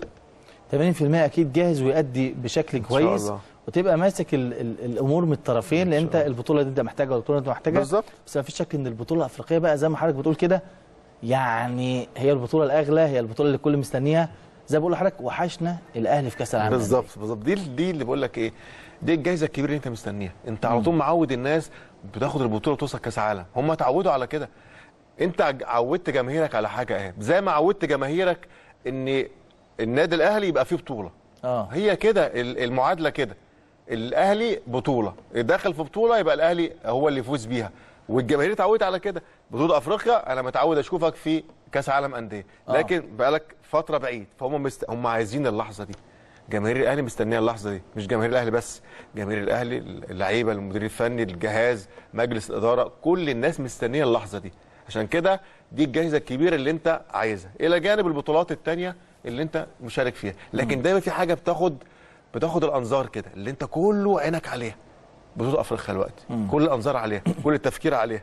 ممكن بعض اللعيبة تفكر يعني تفكيرها دلوقتي ممكن يبعد شوية عن ال- عن البطولة العربية. تفكيرهم ممكن غصب عنهم يروح للبطوله افريقيا خلاص ده خطوة. يعني خطوة وعايزين بقى البطولة دي. ودرس ال- البطولة اللي فاتت والموسم اللي فات. برافو حاضر. عليك برافو عليك. ودرس الماتش الأخير. حاضر. في الاذهان يا إيهاب طبعا. في الاذهان أوصل وما ما فزت دي في الاذهان مع كل الظروف اللي حصلت لا ما تكرر لا ما تقنعنيش هي بتتكرر مع النادي الأهلي مرتين. لا لا استحالة. صعب. لا صعب صعب صعب. إن شاء الله يكون خير. إن شاء الله في لقطة. في المباراة لقيت مستر باتريس كارتيرون متعصب جدا. كان في لعيب كان وليد أزارو وقع على الملعب آه، ما طلعوش الكورة بتاع أول مرة أشوف مستر كارتيرون يخرج كده عن هدوء المعتاد وكأنه بيقول في حاجات لازم هنقف عندها. دي حقيقة. وكان مو... أصل دي دي في لعيبه عندك واقع لازم الكره تطلع بره. لكن- بيدعيش يعني لا وليد مش و- بيدعي الإصابة آه. وكده بس هي دي حاجة تعصبه إنك لعيب عندك وقع تطلع الكوره بره. الكوره ما نفرض الكوره دي كانت خطر عليك أو حصل حاجة. لكن هي ال fair play اللي هو الكوره تطلع بره وخلاص. عليك. دي الحاجة تعصب مستر كارتيرون على فكرة. أنت عمرك ما شفته متعصب خالص. طبعا. لكن هي حاجات من اللي هي كانت الكوره في واحد وقع في الأرض ما تعرفش الوقع ده ليه أو في إيه. فلازم علاجه بسرعة. يعني حتى المعلق ال- ال- الجزائري على المباراة لما آه، الشناوي خد كورتين كده ونزل بيهم قال له يعني لو فريقك متأخر هتقف يعني عارف أكيد مش هقف يعني عارف برضو رغم إن هي مدرسة أهاب. الشمال دايما بتحب تطول بالكرة كل شوية واحد عايز يمشي آه. المباراه على هواه آه هو عايز يلعب بسرعة طب أنا طب مش عايز تعالى نشوف بقى في تونس الأجواء إيه. وتعالى نشوف آه، الترجي الفوز الكبير جدا والرومنتادا اللي عملها و... وإن المباراة تخرج بهذا الشكل بعد ما الكل ظن حتى عصام الشوالي هو بيعلق بالمباراة قال لك خلاص ال... ال- القصة انتهت. فجأة الترجي بي... بينتفض تاني وبيأدي بشكل كويس ونهائي مكرر بين فريقين بيحبوا يقابلوا بعض وبين زميل بنحب دايما نقابله ونستمتع بيه لما نكون بنقابل الفرق التونسية الإعلامي والزميل هيثم راجي مساء الفل يا كابتن هيثم تحياتي وتحيات الكابتن علاء ميهوب أهلا بيك يا بوب أهلا بيك واهلا كابتن علاء واهلا كابتن. أهلا بيك يا هيثم. أهلا بيك أهلا بيك واهلا. والله يا بوب والله فرحت في مباراه النهائي أكثر من حاجة قابل قابل بعض يا بوب. شوف ال- يا بوب كنا قاعدين مع بعض. كلنا الشباب انت عارف؟ كلنا بنفتكر شقاوة. كلنا شقاوه شقاوه وحشني أنت طبعا آه، يا هيثم. وطبعا آه، وحشنا لمتنا دايما. ودايما في حالة خاصة بين الأهلي والترجي فرق ومسؤولين وجماهير وحالة محترمة جدا لكن الترجي امبارح استحق استحق إنه يكون موجود في النهائي. في مباراة مختلفة تماما مباراة هي الأفضل للترجي في مشواره في البطولة السنة دي. يا ال- اياب الترجي امبارح كان قدم المباراة كان يلزم يقدمها الترجي كان المفروض يقدمها لأنه أنت تعرف جيدا هو الموسم ال- المئويه الترجي احتفال بمرور 100 سنة على تاسيس الترجي هذا التونسي وجماهير الترجي كلها اتفاق واحد وكلها على هدف واحد هو رابطه الأبطال. لأنه جماهير الترجي رقم قياسي في بطولة وكأس تونس يعني في تونس. اللقب الوحيد اللي يشفي أغاني جماهير الترجي ضم اللقب الثالث على الأقل في خزينه النادي. وما فماش ما خير من موسم اللي هو موسم المئوية. اذا البارح بالرغم من الترجي ما كانش في يومه بالرغم من الترجي الفترة الحالية ماهوش الترجي اللي تعود بالظبط. في الألفينات وفي التسعينات الترجي في الذبذب الترجي آه، آه، يعني معناتها في فترات الترجي يكون أفضل ما يكون لكن في فترات الترجي بعض الاهتزاز على بعض اللاعبين خاصة بعض الاصابات وبعض الغيابات الترجي ماهوش الترجي المتعود فيه. الترجي ماهوش الترجي المستقر في الأداء نتاعو ناهيك كانوا الترجي أربع نقاط فقط في الدوري التونسي وحتى كانت هزيمة ضد الصفاقسي آه، يعني الأجواء ماهيش ولا بد في الدوري التونسي لكن في رابطه الابطال هو الثقب الشاغل هو الهدف الأول والاساسي إن كان للإدارة إن كان للجماهير إن كان للاعبين. البارح الترجي بعد هزيمة أولى في مباراة الذهاب آه، أنغولا في رواندا تحديدا بهدف صفر. البارح الترجي كان المفروض عليه الترجي يمر. كل السبل البارح توفرت للترجي هذا التونسي على أرضية الميدان حتى آه، يكون الترجي ال- ال- يعني يعني بداية آه، هدف بطل أنجولا المبكر البعض قال خلاص اتصعبت جدا على الترجي وهدف مبكر لبطل أنجولا على عكس سير المباراة. يعني قلق الأمور وقلنا ظروف الترجي كانت صعبة. ايهاب في واحد صفر تقول ممكن الترجي يعود ويجيب اهداف خاصة يكونوا هدف الترجي تمام. تقريبا بعد ثمانية آه، بعد يعني 10 دقائق تقول أبرك الترجي ما دام سجل هدف وعدت نتيجه ممكن هدفين ممكن يزيدهم الترجي ما فيش مشكل تمام. لكن في 2 1 الترجي يقبل هدف ثاني هدف التعادل في الشوط الثاني المنتخب ال- ال- ال- الفريق الانغولي بريميرو اغوستو آه، صراحة فما بعض الجماهير اللي غادرت الملعب يعني أي لكن آه، الجماهير الوفيه للترجي ولاعبي الترجي شوف إصرار كبير للكابتن معين الشعباني على دكه البدلاء وهذا ما أكدوا حتى بعد المباراة وكأنه اللاعبين أعطاه حماس جديد للاعبين وكأنه فما روح جديدة. نذكروا جيدا لأنه معين الشعباني لما كان لاعب تذكروا جيدا كانت مباراة شهيرة في الترجي التونسي والهلال سنة 2009 تقريبا. وقتها الترجي كان المفروض عليه يسجل أربع أهداف. هي مباراة شبيهة نفس السيناريو بالظبط نفس السيناريو اللي يختلف فيها فقط كونه معيد الشعباني كان لاعب امبارح كان على دكه الاحتياط كان هو يدرب الترجي النادي التونسي وهذا اللي يحصل يعني تسجيل الترجي خاصة انه كان فما بعض احداث الاشتغاب حتى اللي صارت في الملعب وكأنه اللي تلفت شوية اذهان الجماهير وكأنه الأمور ما كانتش لابد لكن التركيز كان كبير برشا بالنسبة للاعبين الترجي هذا التونسي للاقتلاع ورقة الترشح وكانوا جاوزوا الاهداف ورقة الترشح خلينا في مباراه النهائي نهائي سنة الناس كله هو يسمع ضد النادي الأهلي المصري ولو إنه ايهاب راهو فما كلمه البارح جماهير الترجي كل البارح صحيح كانوا يرغبوا في النادي الأهلي لكن كلهم قالوا خلينا سطيف في المباراة هذه إنه سطيف كعبنا عالي على سطيف لكن كعب مش عالي على النادي الأهلي. هيثم آه، كابتن علاء أكيد آه، عايز يتكلم معاك وعايز يكلمك مع الجمهور معاك كابتن علاء ميهوب هيثم مبروك التأهل امبارح هيثم. الله يخليك الله يبارك فيك مبروك النادي الأهلي شاء الله. يا رب إن شاء الله. قول لي بقى جماهير بتفكر إزاي في المباراة؟ والله بالنسبة للجماهير أنت أعطيتني خطوة ساعه وحديث قوي يا كابتن. إن شاء الله والله بالنسبة لقنصليه تونس كتونسي قنصليه تونس في مصر عندكم وإن شاء الله النداء يكون متبادل يعني قنصليه مصر في آه، تونس العاصمة. شاء الله آه، لأنه شفنا جماهير الترجي جماهير الأهلي علاقات ممتازة وعلاقات طيبة جدا وهذا دورنا نحن كإعلام باش نزيدوا نمثلوا هذا ونوصلوا بالضبط. هذا دي حقيقة دي حقيقة. صح علاقات ممتازة. قبل 90 دقيقة وبعد 90 دقيقة دائما بين الترجي والأهلي إنه آه، تعرفوا تعرف جيدا كانوا الجماهير الأهلاوية تجي في بيوت الترجيين والجماهير الترجيه تروح في بيوت الأهلاوية. إن شاء الله أنا على الأقل هذا يترجم على ال- ال- ال- التاشيرات خاصة. وأنا نطالب كسفير تونس إن شاء الله يا سعادة سفير تونس إن شاء الله نسهلوا كل ما يلزم للإخوان ال- المصريين حتى يكونوا بأكبر عدد ممكن إن شاء الله. ملعب رادس وعلى عيننا وراسنا. وأيضا إن شاء الله يكون المعاملة بالنسبة لسفارة آه، مصر. هوني يسهلوا بأكثر عدد ممكن حتى الجماهير تكون غادي يراو على الأقل حتى نضيقوا الضغط ونخفضوا الضغط. لأنه آه، في مقولة تقول لك الممنوع مرغوب. يعني لما مظبوط. تمنع ولما تقول لا ولما تحط حدود بيناتهم أكيد هذه بداية استفزازات لأنه الجماهير المصرية باش تفكر كانوا تونس رافضة الجماهير التونسية تفكر كانوا مصر رافضة. اذا خلينا نحتفلوا بالعرس هذا. بالنسبة لجماهير الترجي البارح آه، كان بعد فرحة بالمباراه التفكير في النهائي كلهم يعرفوا جيدا انه الأهلي يمر بافضل فتراته. كلهم يعرفوا جيدا. وجماهير الترجي هناك حتى بعض الجماهير تؤكد تقول بالنسبة للهدف الترجي هو الوصول إلى النهائي خاصة كانوا باش نواجهوا ال- ال- النادي الأهلي. لكن يقول لك أكيد النادي الاهلي مباراة 90 دقيقة في القاهره و90 دقيقة في آه، في تونس. أكيد إن شاء الله الاشهر هو اللي يفوز. لكن جماهير الترجي متمسكه جيدا بهذا اللقب. خاصه إنه كونه الغياب عندنا في تونس يظهر لي إن شاء الله المثل الفرنسي يقول لك jamais deux sans trois يعني اثنين لازمهم ثالثه إن شاء الله ثالثه مباريات كل الترجي تكون شوف الثالثه كل نادي الأهلي إن شاء الله. انت عارف إحنا بنتفق في كل حاجة بس دي. مش هنتفق. وإن شاء الله كل واحد يشجع ناحيته بشكل طبعا مثالي. أكيد. بحييك طبعا يا هيثم على روحك مع الجماهير. لكن كلام إن المدير الفني للترجي مش عايز النهائي يكون في رادس عايز يكون في المنزة. هل الكلام ده مظبوط ولا لسه بدري عن الحديث ده؟ لا لا ما فيش لا نحن ممكن نلعب في ال- في المنزل لأنه المنزل ما فيش اناره الاناره بتاع الملعب المنزل اتشالت يا بوب والمنزل غير قادر على شيء المدرجات غير قادرة على تسجيل أكثر. يعني في رادس إن شاء الله. إن شاء الله. خلاص لا فراس فراس هذا أكيد يعني فراس يعني لا في درة المتوسط. طب في رادس وإحنا إن شاء الله الحمد لله في رادس ما بنقلقش يا كابتن هيثم. إن شاء الله. لا لا ما إحنا نكرموكم ما إحنا أنتم أخواتنا وزياد لا إحنا بص يكفي. يكفي هذا الشعور المحترم والطيب منك يا هيثم. وطبعا منتظرينكم تيجوا تشو يعني تشرفوا وتنوروا في بلدكم الثاني وقبل ما نشكرك أنا والكابتن علاء ميهوب لو حابب تضيف أو تتكلم وتقول أي حاجة.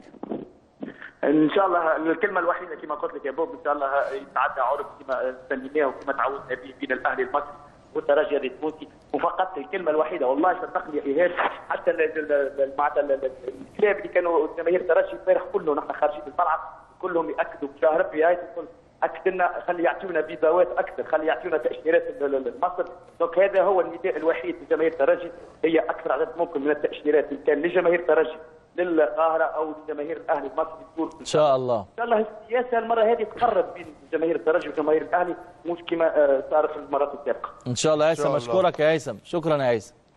طبعا كلام محترم هيثم الراشدي يعني آه. خلاص يعني إحنا مع بعض. يعني دايما إذا كنا هنا في الأهلي أو اما هناك في تونس والناس بشكل يعني يعني في تواصل كبير جدا الجمهور على علاقة خاصة. الإعلام أهو.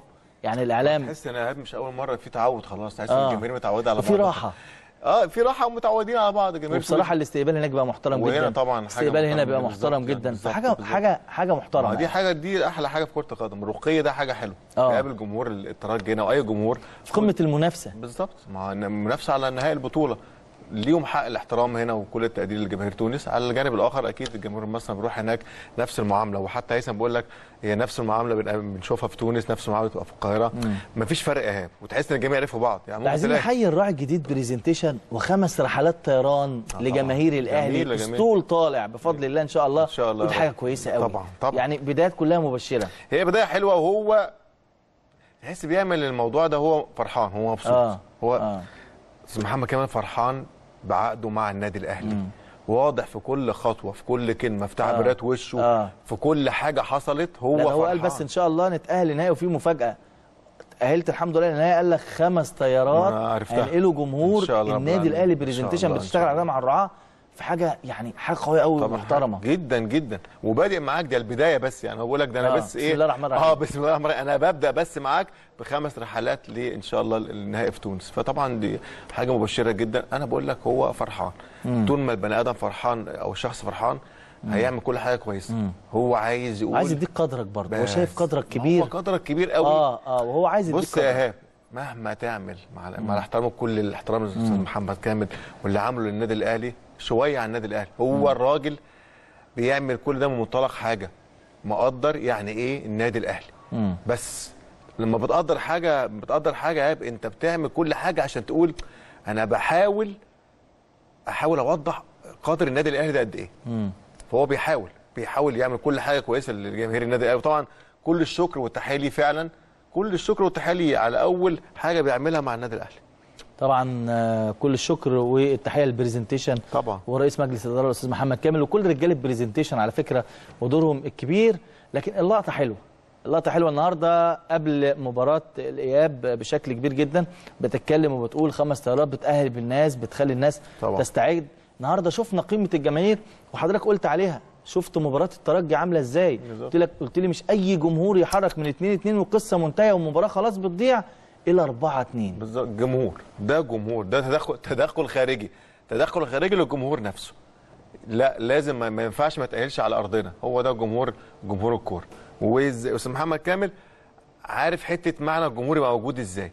واذا كنا بقى نتكلم على البرزنتيشن محمد كامل كمان أستاذ عمرو وهبي كمان راجل طبعا. فظيع ممتاز بيشتغل شغل جميل جدا جدا جدا. وما بقاش في الصورة دايما لكن هو الزملكاوي ومخلص لله مع شخصيه شخصية جميلة وممتازة وحاجة راقية جدا. طبعا. لكن زي ما بقول لك يا ايهاب هو بادئ كده اللي هو مفاجأة المفاجأة البداية كده. آه. البداية خمس رحلات لجماهير النادي الأهلي. عايز يبقى النادي الأهلي موجود هناك بجماهيره. هو عارف قيمة الجمهور في, ال- في الأوقات دي عاملة إزاي. وجماهير الأهلي طبعا نفسها كل جماهير الأهلي تروح مباراه الترجي إن شاء الله.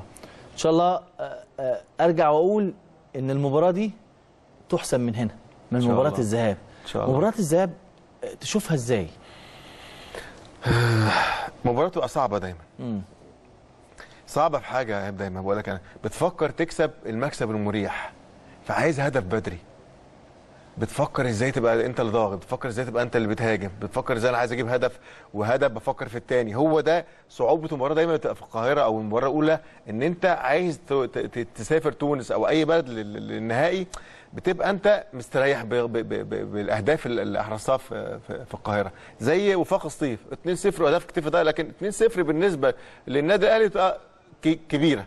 فأنت دايما تفكيرك اللي بتفكر فيه هنا عايز كم أهداف كبير. إلى جانب كمان ما استقبلش أي هدف لكن استقبالك لهدف بيصعب عليك الأمور. فإن شاء الله يا رب يبقى أهداف هنا مطمئنة تسافر إن شاء الله تونس يبقى الأمور واضحة قدامك. إن شاء الله تكون الأمور واضحة وقلنا في صعوبات كتيرة جدا لكن هو ماتش نهائي. خلاص. في في في تفاؤل.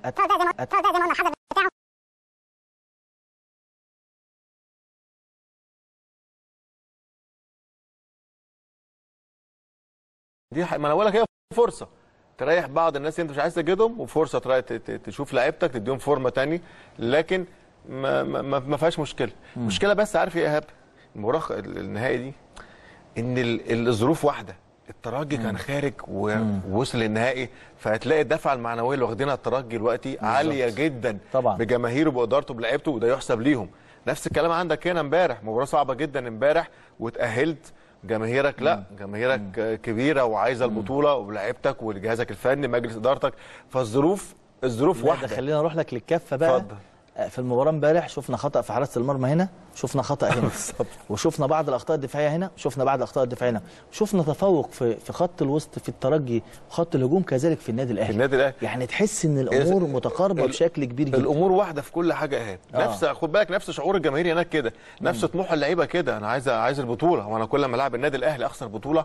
لا أنا عايز البطولة. فهي بتحس إن كل حاجة متشابهة.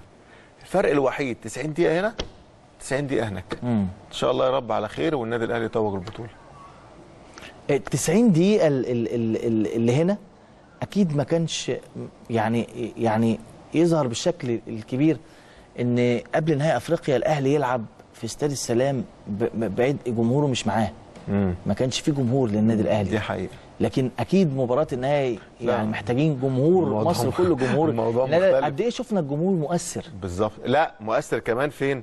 في الترجي أكتر طبعاً. اتكلمنا عليه أنا وأنت ومؤثر امبارح في, في أداء لعيبة وفاق سطيف طبعا وهقول لك حاجة يعني وأنت يا كابتن بتتكلم اتفضل. في وفاق سطيف هنا وبتقول لي اتنين وضيعنا لو الجمهور موجود الموضوع كان و- اختلف تماما وأنت بتلعب يعني. يعني بالع... يعني يعني من غير جماهير. وبتجيب جونين وبتضيع لا كنت حسمت من هنا حسمت أنا من عايز هنا. أقول لك لعيبة وفاق الصيف لما نزلوا كمان وشافوا الجماهير في الملعب اديتهم أريحية سهلة. جدا ان هم آه. بدأوا المباراة هنا ضاغطين. ضاغطين. بالظبط. فاهمني؟ فالأريحية ما فيش ما فيش جماهير. وهم عارفين قيمة جمهور النادي الأهلي عامل إزاي. ما هو أكيد عارفين جمهور النادي الأهلي قد إيه مؤثر. طبعا قدامنا وصول اهم الحمد وصلوا بالسلامه سلامتهم. دل على سلامتهم كده وهم يعني واصلين لمطار القاهرة. وطبعا آه، جايين عشان آه، يجهزوا.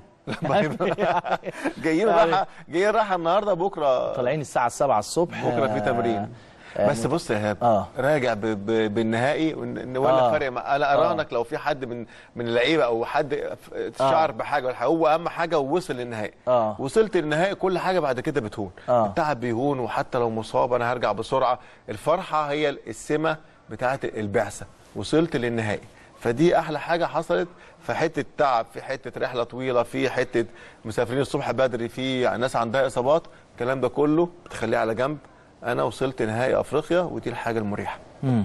طبعا حاجة مريحة جدا وواضح لكن كله عنده استعداد يتحمل كل هذه الضغوط علشان يحقق الحلم في هو. ده الحلم اللي هم عايزينه. خلاص الضغوط الكبيرة كانت امبارح. مم. خلاص نفس كده وأبدأ أحضر للمباراه اللي هنا. ضغوط جديدة بس بإيجابية. انت بتلاقي خلاص بقى وصلت خلاص انت ناقص لك خطوة خطوة وشايف الكاس. خلاص بقى الموضوع بالنسبة لي بقى سهل. أنا شايف الكاس قدامي لا لازم إن شاء الله أجيب ده هجيبه إزاي بقى؟ بالشغل اللي هيتشتغل إن شاء الله في المباراة اللي هنا والشغل اللي هناك. والتحضير أهم حاجة التحضير للمباراه هنا كويس. الترجي هيختلف عن المواجهات اللي قابل فيها الأهلي في المباريات اللي فاتت ولا هيبقى بنفس السياق؟ لأن برضه حالة التفاؤل الزيادة اللي في الشارع بالظبط. أنا دي ساعات بت... بت... يعني مش بتخوفني لكن لازم يبقى عندي حرص. بالظبط. الموضوع لا الموضوع مختلف. مم. الموضوع مختلف بالنسبة للترجي. أكيد مش هيبقى زي الترجي اللي قابل الأهلي قبل كده وخد بالك التفاؤل اللي هنا التفاؤل هناك. انت كنت خ... انت كنت خ... انت خلاص انت بره بطولة مع الترجي. آه، إيه بالظبط. 2 2 انت بتتكلم في موضوع صعب جدا يعني خصوصا هو دايما بيتقدم عليك فالموضوع صعب بالنسبة لك. لكن التفاؤل اللي حصل هناك هنا في تفاؤل. بس التفاؤل هنا اللي هو الموضوع مش سهل. لا الترجي لا لا, لا خالص. الترجي طول عمره نادي كبير ونادي عظيم بلاعيبته وبجماهيره وأكيد أنا متأكد منه. لعيبة النادي الأهلي محترمه ال- الفريق ده احترام شديد جدا جدا طبعا، جدا. طبعا. مش خوف طبعا. لكن لا، طبعا احترام. فريق كبير يا كابتن. طبعا طبعا يا ايهاب إحنا بنتكلم أنا وانت حتى مع هيثم بيتكلم. آه. لا تحس ان في امور كتير متشابهة. ال- النادي جماهير النادي. عنده كل جماهير حاجة. لا كبيرة. لا عراقه النادي اسم الترجي في تونس. بيعرف يرجع في ملعبه مرة. واثنين ويحقق معادله صعبة. الأمور متشابهة جدا يا ايهاب في كل حاجة. كل حاجة. لكن زي ما بقول لك أنا كل احترام للترجي. كل حاجة لكن احترام إيجابي. أنا عايز لا عايز أفوز بالبطولة دي. مش خوف خالص. النادي الأهلي ما بخافش من الفريق الحمد لله. لكن محترمه كويس قوي لكن طول ما احترمت الفريق واحترمت اللعيبة دي حاجة إيجابية. ما ينفعش أبقى مش مدي نادي الترجي باسمه العريق ده كل ال ال ال ال الحاجة ولا يستاهلها. شايف آه، إن إحنا اتكلمنا في استعدادات الأهلي لمباراة الوصل للترجي أجواء بقى نفسية الفترة الجاية جمهورك برضو لازم يأهلك بالشكل المطلوب إعلام عليه دور مهم جدا طبعاً، طبعاً. في الفترة الجاية ودينا شفنا على الجانب الآخر كلام محترم جدا من الجانب هيثم. التونسي من الإعلام التونسي كلهم بيتكلموا بشكل كويس واضح من كلام هيثم إن في جماهير كتيرة جدا هتيجي من تونس تبقى موجودة طبيعي. فأكيد في المقابل إن شاء الله طبيعي، ال- ال- طبيعي. الأمن المصري والمسؤولين يقدروا يوفروا عدد كبير قوي من الجماهير. المصرية هو كل بس الفترة دي المباريات إن شاء الله النهائي كلها حاجات إيجابية مش عايز بلاش سلبيات خالص حتى في ال... في في في, في السوشيال ميديا كلها. كلها حاجات إيجابية كلها حاجات تحفيز بعيد عن المشاكل بعيد عن أي حاجة خالص. مم. واللي أنا عارفه ومتأكد منه إن مستر كاترون وكابتن محمد هيقفلوا على اللعيبة خالص الفترة دي. أكيد مش هي... ما... ما فيش حاجة هتت... هت- هتتقال. كل الكلام هيبقى في المباراة. بس مش أكتر من كده. المباراه ال ال ال بتاعت النهارده. يعني بالظبط، اللي هنا. الفترة دي جاية خلاص يبقى كلام في الوصف في الوصف أخلص الوصل هقفل صفحتها الترجي. وأفتح الصفحة بالظبط الثانية كده. هو ده ده ده نظام النادي الأهلي من زمان على فكرة مش من الأيام دي من زمان. كل مباراة مباراة كل بطولة ببطولة. هي دي هو ده هو ده اللي بيفكروا فيه. مباراة الوصل يخلصوا على خير إن شاء الله. وبعدين يخشوا على مباراة الترجي بقى بتحضيراتها الكبيرة جدا.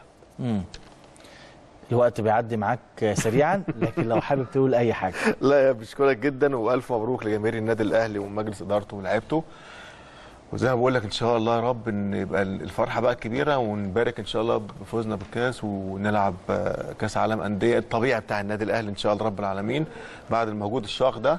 بقول لهم ألف مبروك وإن شاء الله يا رب نبارك لهم في النهائي يا رب. شرفت ونورت يا كابتن. هتختم المرة لا دي يختم أنت بقى. ليه؟ لا انت خ... لا حاجة حتتك برضه. طب ندخل بس المره الحلقة الجاية تقدم انت إن بقى. شاء الله إن شاء الله. تقدم انت الفقرة ونبدأ ندخل فيها. نعكس المرة الجاية. خلاص ماشي. ماشي. حبيبي طبعا دي فقرتنا المعتادة كل يوم أربع. دايما بنتكلم معاكم أنا وكابتن علاء. يعني بنقعد ندردش دردشة كده. ودايما بكون حريص جدا إن أقول كل اللي بيدور جواكم كل اللي عايزين تسألوه كل اللي عايزين تتكلموه بشكل بفضفضة كده بنعمله مع الكابتن علاء اللي دايما بيشرفني وبينورني كل يوم أربع. فاصل سريع عشان بعد كده التقي بزميلي محمد سعيد والأستاذ أو الكابتن أمير توفيق وحديث آه، عن الرعاية. حديث مهم جدا بعد الفاصل.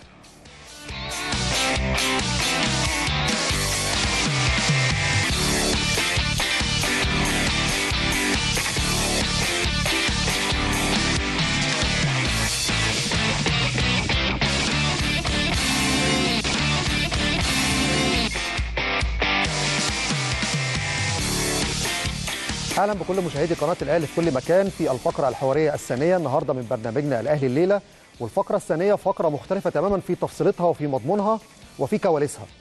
دايما النادي الأهلي زي ما بيكون رائد في كل المجالات وفي قطاع كرة القدم والانتصارات والفرحة اللي إحنا عايشينها خلال الفترة الأخيرة في مجال كرة القدم تحديدا أو في الألعاب الفردية والألعاب الجماعية في جميع البطولات سواء المحلية أو القاريه لكن أيضا في آه، أمور استثنائية أو قرارات إدارية بتساعد كل المنظومة الرياضية في النهاية عشان تطلع بالشكل الإيجابي اللي إحنا شايفينه ده ملف التسويق والرعاية من الملفات المهمة جدا اللي بيعول عليها مجلس إدارة النادي الأهلي برئاسة الكابتن محمود الخطيب بشكل هام جدا للمرحلة القادمة وهو أحد وأهم الموارد الرئيسية المالية للنادي الأهلي.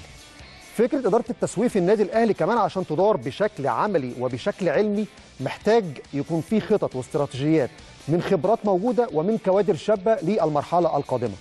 السياسة اللي انتهجها مجلس الإدارة في هذا الملف تحديدا آه، سياسة بتعبر عن النتيجة اللي ظهرت بيها خلال الفترة الأخيرة والمفاجآت اللي بالتأكيد أسعدت جماهير النادي الأهلي والجماهير المصرية ويمكن يعني آه، آه، مجالها كمان اتسع لمجال أكبر من كده إلى الوطن العربي وفي القارة الأفريقية وصحفيين كمان في جنوب أفريقيا اتكلموا عن ملف التسويق والرعاية اللي انتهجوا النادي الأهلي خلال الفترة الأخيرة. معايا في هذه الفقرة اثنين من الكوادر الشبابية اللي هنقدمهم بشكل مميز جدا لجمهور النادي الأهلي في مصر وفي الوطن العربي بدورهم المتميز واعتماد مجلس إدارة النادي الأهلي كمان برئاسة الكابتن محمود الخطيب عليهم بشكل إيجابي خلال الفترة القادمة. في البداية أرحب بضيفي الأستاذ أشرف الأستاذ أمير توفيق مدير آه، تسويق النادي الأهلي. برحب بيك يا أمير وسعيد بهذا اللقاء. وبالتأكيد نعرف بعض منذ سنوات وسنوات. طبعا طبعا. شرف ليا ربنا أهلا. بيك. أيضا كمان ضيفي في الفقرة الثانية الأستاذ أشرف عمر. آه، برحب بيك في آه، الأهلي الليلة وكنائب للمدير التسويقي في النادي الأهلي. أهلا وسهلا. أهلا بيك بحضرتك. أستاذ أمير يعني قصة كبيرة ملف التسويق والرعاية في النادي الأهلي. لكن لو بنتكلم تفصيلا في هذا الملف آه، فكرة إنك كمان وكوادر شبابية الكابتن محمود الخطيب يعتمد عليها في هذا الملف ومن خلال كمان الإشراف لدكتور سعد الشلبي. طبعا. فكرة الإدارة بشكل عام عشان في الآخر ال- المنتج النهائي أو الفاينل الناس تشوف عقد رعاية ضخم وفي الآخر أيضا كمان عقد رعاية للملابس ومنتجات أخرى كمان تسويقية خلال الفترة القادمة. طبعا إحنا كان التوجه بتاعنا إن إحنا أول ما جينا النادي الأهلي كان آه، كابتن خطيب ودكتور سعد كان عندهم شكل مختلف في إدارة التسويق في النادي. إن إحنا النهارده آه، التسويق النادي الأهلي لازم يكون في إدارة كبيرة. الإدارة دي بتعمل آه، آه، زي مصادر دخل النادي الأهلي خارج نطاق الرعاية. وعشان كده إحنا موجودين إن الفترة الجاية إن شاء الله حتى ال- السكشن بتاعنا بيكبر واحدة واحدة. برضه كل في شباب. الفترة الجاية مثلا بنتكلم في سن مثلا في العشرينات. إحنا أكبر شوية يعني أنا حاجة 30 أشرف برضه أكبر مني شوية صغيرين. بس الفترة الجاية في شباب جايين معانا برضه. عشان لازم يكون في كوادر النادي الأهلي. الكوادر دي بتساعد النادي الأهلي إن هو نطلع زي ما قلت بره نطاق إن إحنا عندنا الرعايه بس فضائي. ده جزء أساسي في داخلنا لازم برضه يكون عندنا مشاريع النادي الأهلي موجودة بتعلي ال brand أو ال value بتاع ال brand الأهلي الفترة الجاية. طيب أستاذ أشرف عمر يعني أنا عايز أتكلم برضه في جزئية أول جلسة مع الكابتن محمود الخطيب والاجتماع اللي تم لتشكيل إدارة التسويق وجودكم كإدارة تسويقية. الكابتن أمير توفيق كمدير التسويق والأستاذ أشرف عمر كنائب لمدير التسويق. بص أنا كابتن محمود يعني علاقتنا بتعود لفترة من الزمن. أنا من مدرسة الأهرام اشتغلت مع كابتن محمود في الرعايه الرياضيه كان ليا الحظ الحمد لله إن أنا أشتغل في عقود الرعاية الرياضية من أول ما ابتدت. آه كابتن محمود كان مدير الإدارة وقتها. آه من حوالي كام شهر كده كابتن محمود كلمني في التليفون.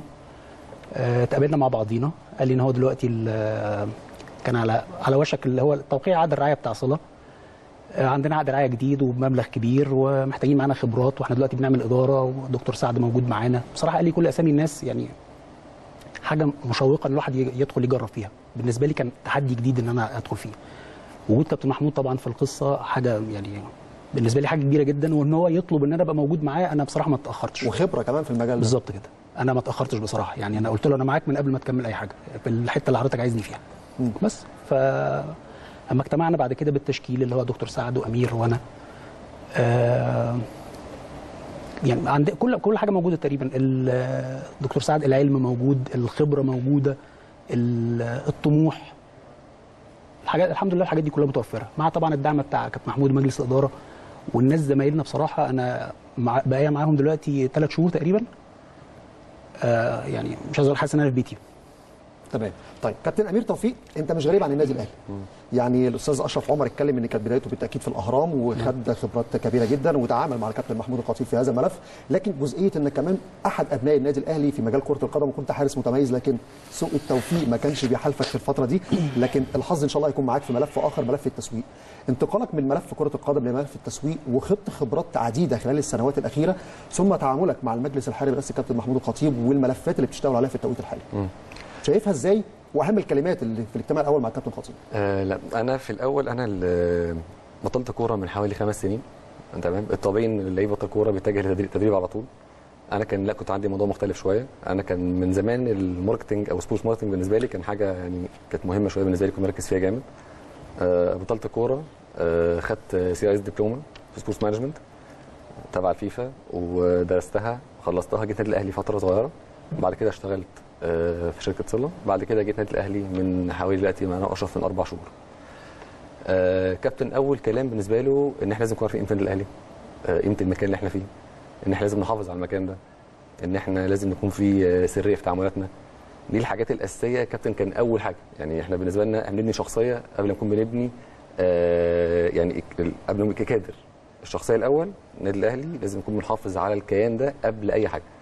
فالحمد لله إحنا الاثنين عندنا نفس التوجه ده برضه إن إحنا بدليل اللي حصل آخر فترة إن إحنا خلاص كل حاجة مقفولة النادي الأهلي إحنا مفيش كلام بره خالص البيت ما أعرفش إحنا بنعمل إيه في الشغل.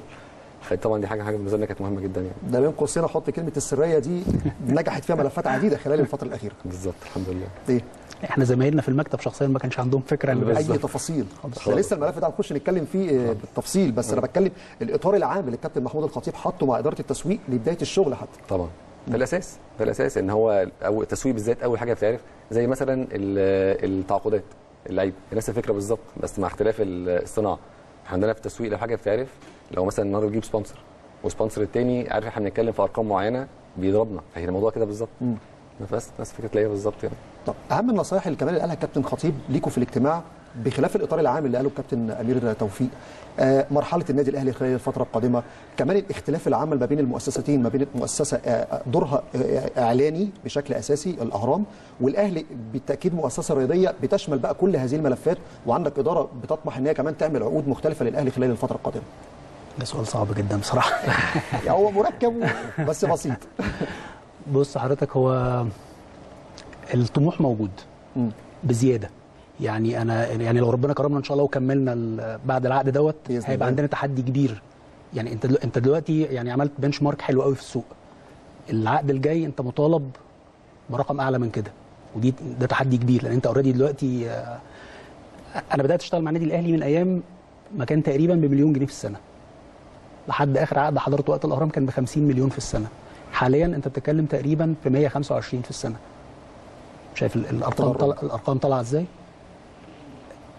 قدام الأرقام دي طبعا في حقوق في التزامات. آه، موضوع الرعاية تشعب.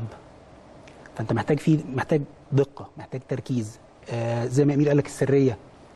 ان المعلومة اللي بتطلع ممكن تكون معلومة بحسن نية تتفهم في حتة تانية أو تلاقي الدنيا راحت منك في مكان تاني خالص. فمش عايز أقول أنت بتشتغل تحت ضغط بس أنت فعلا مطالب إن أنت تبقى على مستوى الحدث. إيه عايز إيه تاني؟ أقول لك إيه تاني؟ لا كفاية. أقول لك إيه تاني؟ طيب كابتن امير وأنا بتكلم برضو في حتة ال- التسويق والماركتنج الكابتن خطيب عنده خبرات عميقة في هذا طبعاً. المجال. طبعا. وانت بتشتغل معاه شفت إزاي بقى الفرق خلال الفترة الأخيرة ما بين ان انت كان عندك مشكلة الناس كلها كانت خايفة منها ثم تداركتوا الموقف سريعا وفاجئتوا مصر كلها والوطن العربي بأرقام قياسية وان النادي الأهلي كاسم وشعار وضعه مختلف إزاي تداركتوا كل هذه الأمور عشان تحلوها بشكل سلس وبشكل بسيط وتقدروا تجيبوا عقود افضل كمان مما سبق عشان النادي الاهلي يفضل ماشي في المقدمة. إحنا اول قعده بعد الموضوع اللي حصل ده ان كابتن اتكلم معانا قال لنا إحنا عندنا في شقين شق قانوني وشق تجاري أنتوا طبعا قانوني خلاص مالكوش دعوة إحنا محتاجين نشوف الحل التجاري للموضوع. فتشكلت لجنة اللجنة دي أه، اشتغلنا على الحلول اللي موجودة. كان عندنا ثلاث حلول وكانوا في الإعلام كله كان حتى كان كانت واضحة بالنسبة للناس كلها يعني. آه، بشكل كبير عرفنا السوق بيتكلم في إيه عرفنا السوق أرقامه عاملة إزاي. فلما اتكلمنا في الحتة دي آه، الكابتن وصل له طبعا report باللي حصل ده كله خلاص إحنا النهارده لما نيجي نتكلم مع أي راعي موجود موجود إحنا خلاص عارفين أرقام السوق. فطبيعي إن إحنا أرقامنا هتعلى. إحنا النهارده عندنا عقد الرعايه كان آه، القديم كان بنص مليار. النهارده هنتكلم في 510 plus incentives بقى 520 مليار آه sorry آه مليون. تمام؟ مع إن إحنا في ربع الموسم هو خلص. يعني ربع الموسم ده إيه خلص؟ اللي هو يساوي لو نتكلم ماديا 31 مليون جنيه. ده أنت كنت خلصت العقد الأولاني في شهر مايو أو شهر 6 الماضي. لا إحنا العقد الجديد مضيناه في 1 8 تمام؟ اللي هو اللي اتفسخ. اللي اتفصل الموسم الكورة بدأ في 8 واتلعب منه دلوقتي سبع ماتشات أو ثمان ماتشات منهم حوالي أربع ماتشات هم فبنتكلم في حوالي ربع الموسم بالنسبة لنا حقوقه خلصت راحت تمام؟ مظبوط. إحنا النهارده التعاقد مع شركه برزنتيشن هو أربع مواسم بما فيهم الجزء اللي هو اللي, خلص ده. فاهم قصدي؟ تمام. فده لو يساوي رقم بيساوي حوالي 31 مليون جنيه. زي ده إحنا بنتكلم في ال 20 مليون زي ده بنتكلم في حوالي 51 مليون جنيه. ده رقم يفوق الرقم العقد القديم. فطبعا ده الحمد لله كان نجاح للإدارة ونجاح لأشرف ونجاح ليا الحمد لله. طبعا كابتن الخطيب ودكتور سعد كان في support رهيب. يا دكتور سعد راجل في السعودية والراجل آه، عنده جامعة وعنده شغل ومع كده الراجل لا هو بي- بيرد في أي وقت تليفون. الصبح بالليل بي support معانا على طول. كابتن الخطيب نفس الكلام برده في عز يكون مثلا تعبان نكلمه ويرد على طول معانا. فالحمد لله ربنا عدها على خير يعني. كانت الأفكار متاحة لكم بشكل إن أنتوا تقدروا تشتغلوا على أرض الواقع وتاخدوا كل الملفات بشكل إيجابي إنك تقدروا عندكم ال- الفكرة والاستراتيجي اللي أنتوا تحطوها وتشوفوا التنفيذ كمان على أرض الواقع يبقى عامل إزاي؟ أول ما يكون السوق قدامك واضح وكل حاجة بالنسبة لك واضحة ومكشوفة تبقى الدنيا أسهل كتير. السوق لو قدامك مش واضح والدنيا مقفلة شوية الموضوع يبقى صعب شوية. بس فكرة 51 مليون جنيه عشان كمان تقنع الشركة الجديدة اللي معاك خدت منكم وقت كابتن ومجهود؟ خطيب بقى. كابتن خطيب هو ال- اشتغل عليها و... لا كده هو كابتن خطيب في الآخر طبعا هو اللي يعني آه، ربنا يكرمه يعني هو ال- ما دي الخبرات اللي أنا بتكلم آه، فيها يا. أستاذ أشرف. طبعا. دي الخبرات. يعني استفادة مهمة جدا كمان بجانب عملكم ككوادر شبابية في إدارة التسويق في الأهلي. بص يا فندم أنا حضرت كابتن محمود في كذا موقف قبل كده وقت الأهرام. يعني حاجات بصراحة إعجاز. يعني لو حكيتها لك مش يعني مشاكل وحاجات وبتاع مجرد التواجد بتاعه يعني يا جماعة إيه المشكلة؟ يا فندم مفيش مشكلة خالص. حضرتك وجودك شرفتنا. طب يا جماعة بالنسبة للمشكلة اللي جايين لا مفيش مفيش أي مشكلة خالص حضرتك تشرب إيه؟ فأنت أنت بتتكلم في يعني كاليبر تقيل قوي. كنجومية كشعبية ك أقدر أقول برضو عليه إن هو خريج مدرسة الأهرام اللي هي بدأت الرعاية. ده أول عقد رعاية في مصر حصل سنة 98 الحمد لله أنا كنت سعيد الحظ إن أنا حضرت العقد دوت. كابتن محمود برضو كان موجود. فأنت بتتكلم في تدرج العقود دي كلها ادتك خبرات جامدة جدا. مع طبعا ال... يعني الشخصية عموما لا بتفرق جامد جدا. يعني رقم زي ده يعني معلش مع احترامي لأي حد لو موجود في التفاوض غير كابتن محمود لا كان أنا بتكلم زي الجزئية اللي الأمير بيقول عليها. أصل فات من الموسم قد كذا الماتش ثمنه قد كذا تكلفته قد كذا يبقى نشيل ده من ده يبقى ده القيمة الحقيقية اللي موجودة. وجود كابتن محمود في الموضوع ال- الدنيا بتتبرجل خالص. تمام. طيب كابتن أمير بخبرات الكابتن الخطيب في هذا الملف وخبراته السابقة لسنوات عديدة. القصة مش قصة آه، لعب كورة بس لا كمان سنوات كتير جدا كان إدارة. وشاف مواقف كثيرة في هذا الملف سواء في الأهلي في الحالي أو حتى في السابق.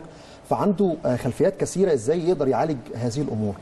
لكن على المستوى الشخصي لما حصلت ال- المشكلة ديت فكرت فيها إزاي؟ وإيه مثلا الأفكار اللي طرحتها أو الكلام اللي اتكلمت فيه مع اللجنة أو مع الكابتن محمود الخطيب والدكتور سعد شلبي؟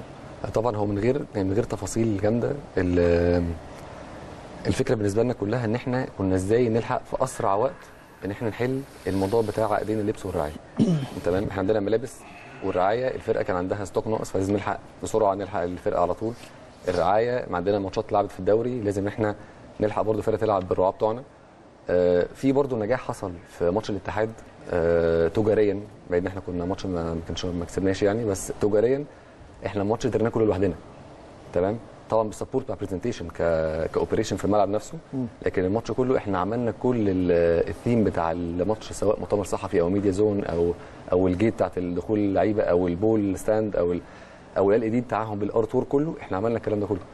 وكان في وقت. صغير جدا كان, كان في ساعات قليلة جدا. ثلاث أيام أو يومين. آه كان وقت قليل عملنا جدا على المباراة. بالظبط. فاتعمل كله حتى messages على الأهلي دي كلها آه على الفيسبوك بتاع page الأهلي قناة الأهلي اليوتيوب channel آه نجم الرابعة. فاتعمل كان الشكل في الآخر. الناس لو بغض النظر عن الرعاة الناس شايفة لا الأهلي في الماتش مش مشكلة. قبلها اتقال الأهلي يلعب من غير إعلانات ومن غير ملعب ويبقى شكله وحش والكلام كله كان بيتاخد بالمنظر ده. فده كان نجاح بالنسبة لنا ان إحنا حاولنا حتى لما كانش في رعاة الشكل في الآخر كان الحمد لله كان معقول. الخطوة اللي بعد كده إن إحنا كنا بنجهز إن لازم الرعاية تخلص بسرعة جدا لازم الملابس الموضوع يخلص بسرعة جدا عشان الفرقة تكون مستقرة أهم حاجة حتة الملابس والرعاية النادي يكون مستقر برضه خلاص عارف وضعه ماشي إزاي. تمام. أستاذ أشرف ممكن تقول لك يكون عندك مشكلة في حاجة فتتدرج بسرعة وتحلها لكن جالك مشكلتين في توقيت واحد الرعاية والملابس زي ما قال الكابتن أمير. ملفين يعني مش ملف واحد أنت بتشتغل على ملفين وبتتدرج اللي حصل في ملفين في أسرع وقت عشان تطمن الجمهور الرأي العام الإعلام. الملفين تم يعني الاجتماعات كانت ماشية إزاي في الملفين وكل واحد ماسك ملف أو كل واحد كان بيشتغل إزاي في الملفات ديت؟ عارف في السي في لما تيجي تقدم في شغلانة ويقول لك آه، متعود اشتغل تحت ضغط؟ إحنا ما بنشتغلش غير تحت ضغط. أنت اما اما بتشتغل في العادي والدنيا سهلة بالنسبة لك بتحس إن في حاجة غلط. حتى لو في الظروف الطبيعية عشان خالص. تطلع أفضل. شيء.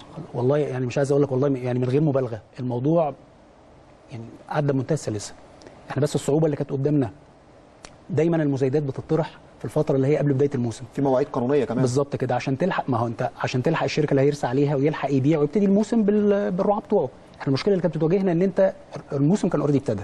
بس الحمد لله الحظ خدمنا ان جت فترة الأهلي كانت ماتشات عنده قوي ما بين البطولة العربية وبين البطولة البطولة الأفريقية. فدي الفترة دي اللي قدرنا إحنا نشتغل فيها. بس انما الموضوع الحمد لله عدى بمنتهى السلاسة. والحلول اللي الأمير كان بيقول لك عليها كلها كانت جاهزة ومطروحة وكنا جاهزين نشتغل في أي توجه. بس كنا يعني شاوروا لنا على الاتجاه اللي أنتوا عايزين نمشي فيه. طيب. كابتن أمير أنا بتكلم في 23 يوم أو 21 يوم على إنهاء الملفين بسرعة.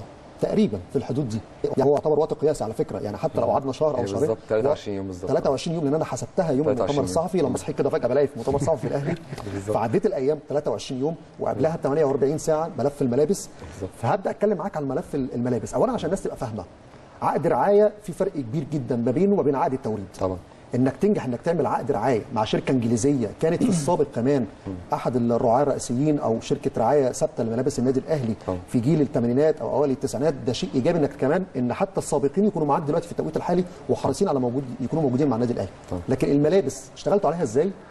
وإن يكون عقد رعاية ويكون كمان في مميزات أفضل كمان من العقد السابق. إحنا الملابس بالنسبة لنا إحنا كان توجه إن إحنا عايزين نشتغل على brands معين تمام؟ إحنا كان معانا كان في سبورتر. إحنا دلوقتي كنا خلاص بعد اللي حصل فكنا عايزين إحنا بنتكلم في level معين. في brands كانت هتخش معانا ليها كل الاحترام والتقدير لكن إحنا كان توجهنا كان مختلف شوية. آه اتكلمنا مع الناس اللي هم ال- حوالي ستة brands اللي هم الكبار. تمام؟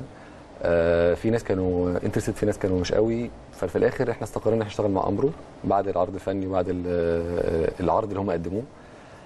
الفرق بين الرعاية والتوريد فرق كبير قوي. النهارده إن شركة بترعاك هو شركة بتقدم لك آه لبس مثلا مقابل مبلغ معين تمام؟ لو خدت نسبة أكتر من كده بتاخد نسبة خصم معينة آه بعد كده بتاخد incentives على كل بطوله اللي بتكسبها تمام؟ وبتاخد نسبة من مبيعات الشركة لأي حاجة تخص النادي الأهلي عالميا. فالنهارده شركه مثلا امبرو هتبيع مثلا آه، تي شيرت الأهلي على ال online system بتاعها تمام؟ إحنا بناخد نسبة منها. تمام. بتبيع في الخليج نفس الكلام. إحنا بناخد 10% من total sales مش مثلا من أي مصاريف إحنا بناخد نسبة خلاص هي نسبة إجمالية. تمام. فده بالنسبة لنا حتى الفرق إن إحنا النهارده لما بنتكلم إن إحنا عندنا جزء بناخده ببلاش في الأول جزء رقم كبير هو الكلام اتقال في الإعلام يعني يعني بنتكلم في 120000 دولار في أول 125000 دولار في أول 125 آه، نص الموسم؟ آه. بعد كده 250000 دولار. في الموسم. في الموسم وزي 10% كل سنة 5% كل سنة. تمام؟ الفكرة هنا كلها إن حتى السعر الرقم ده ده من سعر الجملة ده مش من سعر حتى التجزئة. فالنهارده لو سعر التجزئة بنبيع الحاجة ب 1000 جنيه الجملة بتاعها حوالي 60% يعني كام 600 جنيه. فالأعداد هتزيد. الحالة اللي بعد كده النهارده إن إحنا لما نخلص الكمية بتاعتنا أو مثلا حابين نجيب لبس النشاط الرياضي بتاعنا أو الأهلي stores إن شاء الله الفترة الجاية فاللبس ده كله بناخد برضه خصم 35% من سعر الجملة. هتتكلم حوالي ممكن 60 70% من سعر ال- البيع. ده بالنسبة لنا حتى لو هنبيع ال stores عندنا انكم محترم هيجي لنا لو هنشاط الرياضي هن- هنشتغل له. وبنوفر ميزانية محترمة نشاط الرياضي أو قطاع ناشئين فالحمد لله هو ظريف هي شركة أمبرو شركة محترمة جدا. الناس متعاونين جدا جدا لأقصى درجة سواء الناس اللي في مانشستر أو الناس اللي في دبي أو الناس اللي في مصر. هم شارين النادي. عايزين يرجعوا السوق الفترة الجاية بشكل جامد. فإن شاء الله تبقى خطوة كويسة لينا كلنا. تمام. في أرقام كمان مميزة إنك لو فزت بالدوري أو بطولات بيبقى في بالظبط. أرقام ما هي دي. بالظبط دي. المكافآت اللي بناخدها لو خدنا. بطولات. بالظبط. يعني في النهاية عقد رعاية بشكل جيد كمان في الملابس. طبعا طبعا. لأن في بعض الأندية ممكن بيبقى لسه عندها أزمات تعمل عقد رعاية وبيبقى عندها عقد توريد. لكن النادي الأهلي في وقت قياسي بعد العقد الأول والعقد السابق ويمشي بنفس المميزات بل بالعكس كمان يتخطى لأنه ماضي مع شركة عالمية. آه الحمد لله الأهلي النادي الوحيد اللي في مصر اللي عنده عقد رعاية ملابس. النادي الوحيد اللي في مصر؟ دي عناوين يا كابتن أمير. النادي الأهلي هو النادي الوحيد اللي في مصر اللي عقده عنده عقد رعاية للملابس. بالظبط كده. محتاجين نأكد عليها عشان الناس بس العناوين دي مهمة جدا للناس. بالظبط. الأرقام دي طبعا الحمد لله. والأرقام أرقام ثابتة كمان تمام. الحمد لله. طيب أستاذ أشرف آه، فخر كبير جدا وإحنا في النادي الأهلي وبنتكلم عن هذه الإنجازات الطيبة في وقت صغير جدا. الفترة القادمة إيه التارجت اللي يكون موجود كمان عند إدارة التسويق وأنتم بتجتمعوا مع دكتور سعد شلبي كمشرف على الإدارة مع الكابتن محمود الخطيب رئيس مجلس الإدارة؟ شايفين المرحلة القادمة بإذن الله في مميزات ممكن نستفيد بيها داخل النادي الأهلي في آه، تسويق في أي شيء داخل النادي بخلاف عقد الرعاية بخلاف عقد الملابس. لسه عندنا أطر أخرى خلال الفترة القادمة. في كام مشروع جديد كده إحنا شغالين عليهم بس لسه يعني يعني مش مسموح لنا إن إحنا نصرح بيهم دلوقتي بس المفروض إن هم تفاعلي أكتر شوية مع الجمهور بتاع النادي الأهلي. لسه في أرقام إن شاء الله جاية. بالظبط كده. أرقام آه إن شاء الله. بالظبط. أرقام آه، تبسط الله. الناس. ما بقول لك المشكلة إن إحنا يعني إحنا بن إحنا بنزنق نفسنا في العقد ده العقد اللي بعديه يبقى فيه مشكلة لينا إن شاء الله لو كملنا في القصة دي. لا إن شاء الله بإذن الله. إن شاء الله الفكرة بالنسبة لنا إن إحنا ال- النادي الأهلي هو براند كبير جدا جدا جدا. اسم كبير. جدا. آه. تمام؟ لسه في مناطق مش مستغلة فيه بشكل ما. فإحنا دورنا الفترة الجاية إن إحنا الناس تشوف الحتة اللي مش مستغلة دي بالذات زي ما أشرف قال في التفاعل مع الجمهور. وهتبقى جديدة. جدا. أنا عارف بس مش هينفع نتكلم بس يعني. أنا أنا شاء الله. الشغل الإنشائي اللي بيحصل بإذن الله الفترة الجاية يكون في حاجة كويسة. ال- الانشائي ده جزء وزي ما قلت لك في جزء إن الجمهور لازم يحس النادي الأهلي واصل له. الجمهور النهارده إن إحنا بيشجعوا النادي الأهلي بيحبوا النادي الأهلي يتفرجوا على الماتشات. لكن إحنا إن شاء الله الفترة الجاية دورنا إن إحنا إزاي نوصل براند الأهلي للجمهور. طيب. اتكلمتوا في جزئية وكابتن أمير اتكلمت ولمست في حتة الدكتور سعد شلبي. راجل أكاديمي اشتغل في ملف التسويق لسنوات سابقة. يمكن أنا يعني آه، تواصلت معاه بشكل كبير جدا كمان في دبي في فترة سابقة عندما استلم الأهلي جائزة الإبداع الرياضي وكان الكابتن محمود الخطيب استلم الجائزة هناك في الإمارات. لكن دكتور سعد إزاي استفدتوا من خبراته والخطوط العريضة اللي بتتكلموا فيها في الاجتماعات والاستراتيجية اللي جاية لإدارة التسويق في المرحلة القادمة؟ آه، دكتور سعد في ميزة حلوة جدا. إن هو النهارده الراجل مثلا إحنا مقدم مشروع. تمام؟ فالمشروع دكتور سعد إحنا عايزين النهارده كابتن خطيب. فدكتور سعد طبعا هو بيكون ليه اول أول خطوة مع هو على طول. الراجل نفسه بيقول رأيه بنعدل واحد اتنين ثلاثة رأيه مش رأي مثلا مش ديكتاتوري بالعكس خالص. يعني رأيه يسمع مننا وفي الآخر نشوف المصلحة اللي عامل النادي فين ونشتغل عليها. تمام؟ الخطوة اللي بعد كده إن هو بيدي كل واحد حقه جدا. النهارده أمير قدم حاجة دكتور سعد يقول لكابتن خطيب إن أمير عمل واحد اتنين ثلاثة أشرف قدم حاجة نفس الكلام. فهو الراجل يعني مش عايز مش عايز أقول كلام كبير بس هو من الناس ال- المحترمة جدا جدا جدا في التعامل. بنستفيد منه جدا. الحتة الأكاديميك بالذات كبيرة جدا بالنسبة لنا. في حاجات كتير طبعا بيكون لسه إحنا ممكن شغلنا ميداني أكتر آه، استراتيجي في حاجات معينة. لكن الحتة الأكاديمية لسه مش وصلنا قوي. راجل خبرة بقاله أكتر من 15 سنة في الأهلي مع كابتن حسن حمدي وكابتن خطيب. فطبعا حاجة كبيرة جدا. لا فهو راجل لا بصراحة هو من الناس اللي الجمهور اعترف عليهم الفترة اللي فاتت يعني. كان أول مرة تلتقي معاه؟ اتعرفت على دكتور سعد من حوالي آه، سبع شهور. سبع شهور. بالظبط أو ست شهور. مم. بس الحمد لله من أول لقاء بينا ولا كان في الكيمياء كانت آه، راكبة بشكل كويس الحمد لله يعني. أكيد أكيد طبعا آه، أكيد. أستاذ. أشرف التعامل مع دكتور سعد والاستراتيجي لإدارة التسويق كمشرف على الإدارة بشكل مباشر كمان مع مجلس الإدارة. بص يا فندم هو نفس الكلام اللي امير قاله لحضرتك بالظبط. آه الزيادة عليه برضو آه دكتور سعد هادي قوي. أنا يمكن انفعالي شوية أو زي ما تقولي يعني مش هقدر أقول طيش شباب يعني مش شاب قوي بس يعني في ساعات فكرة كده ببقى مقتنع بيها وببقى داخل بيها جامد قوي دكتور سعد بيبص رؤية أشمل شوية يعني مثلا أول الحتة بتاعتك دي كويسة قوي بس لو عملنا كذا ممكن يحصل مشكلة في الحتة الفلانية. تبتدي يطرح قدامك احتمالات فتبتدي إيه تهدي من حماسك ده شوية تبتدي تسمع منه طب أنا إيه في الكلام اللي قلته ده مش مظبوط؟ لا صح ده مثلا كذا طب أنا هغير شوية في الدايركشن بتاعي. لا كلامه صح أنا طلعت غلطان في الحكاية دي طب ما فيش مشكلة خالص. وزي ما أمير قال لك أكتر ميزة فيه بصراحة يوم ما تعمل الشغلانة يعني آه، مش عايز أقول بيمشي بيك وسط الناس اللي هو إيه فلان عمل الشغلانة دي كويس فلان عمل الشغلانة دي كويس. فبصراحة الفضل بيتنسب لصاحبه بمنتهى الأمان. ودي حاجة بصراحة أنا أنا أنا أحب أشتغل في حتة وأنا مستريح نفسيا أكتر من أي حاجة ثانية خالص. إحنا مش محتاجين ندخل في صراعات أمير أحسن مني أنا أحسن من أمير أنا اللي عملت الموضوع ده. إحنا في الآخر مصلحة واحدة. وده حاجة أنا لمستها في النادي بصراحة بمنتهى الأمانة. من أول ما دخلت النادي أنا لمست القصة دي في النادي. أنا واحد طول عمري متعود إن أنا باخد أجازة جمعة وسبت. أنا جيت فوجئت إن النادي دلوقتي أجازة جمعة بس. عاملة لي مشكلة على فكرة. بس عارف تاخدها؟ للأسف لا. بتشتغل الجمعة جمعة بينزل. جمعة ساعات برضه. وبتشتغل جمعات وبتشتغل جمعات. بس حتى لو أنا عندي ولو لحظة يعني زعلان إن أنا عندي الجمعة أما أبص على الناس اللي حواليا بتشتغل والحماسه اللي هم بيشتغلوا بيها أنا بتحرج أنا لازم أبقى زي الناس دي. الدخول في النادي الأهلي والتواجد في النادي الأهلي بيبقى بحب. بص مش بمواعيد رسمية. ولا هي ارتباطات. دي الفكرة إن أنت النهارده النادي الأهلي فعلا بتشتغل أنت عايز تفيد المكان فأنت بالنسبة لك أنت فعلا شغال في حاجة كأنه بيزنس بتاعك. حاجة بتحبها بتاعتك. بالظبط مش مجرد أنت داخل شركة وبتشتغل خالص بالعكس. أنت النهارده في المكان ده فعلا أنت عايز تفيده ساعات بنسهر لغاية بالليل جدا ساعات بنسافر ساعات بن... آه، بنروح ماتشات في اسكندرية ونبات بره. أنت بتعمل الكلام ده كله وأنت فعلا عايز تفيد المكان. فدي لا دي موضوع فيها مختلف فعلا بجد عن التعامل بأي حتة بره يعني. سنين. فشفنا الحاجات دي جوه النادي الأهلي. أنت بتعيش. جوه النادي الأهلي وبتشتغل بحب. يعني الفكرة بالنسبة لك جوه النادي الأهلي هو الحب. ومكان زي ما كان يعني زي ما قال كابتن أمير آه، ده زي ما يكون البيزنس بتاعك. فأنت بتشتغل في حاجة. أنت عايز تنجحها. لا والميزة برضو إن حتى إن جوه النادي ما فيش حد عايز إن هو آه، يعني ياخد اللقطة. فاهم قصدي إيه؟ آه. النهارده أنت عندك النهارده النادي واضح جدا. في المتحدث الرسمي دكتور شريف فؤاد. المدير التنفيذي كابتن محمد مرجان. مظبوط. هو بيكلمه. إحنا النهارده طالعين قناة الأهلي. يا جماعة اطلعوا في قناة الأهلي. مش أنا النهارده نفسي مثلا أطلع أو من عامل تصريح آه، باسم أمير توفيق أقول كذا لا هي مش كده. محدش ياخد لقطة. كل واحد بيشتغل لما يتقال له حاجة بيعملها والناس كلها مرحبة بالكلام ده.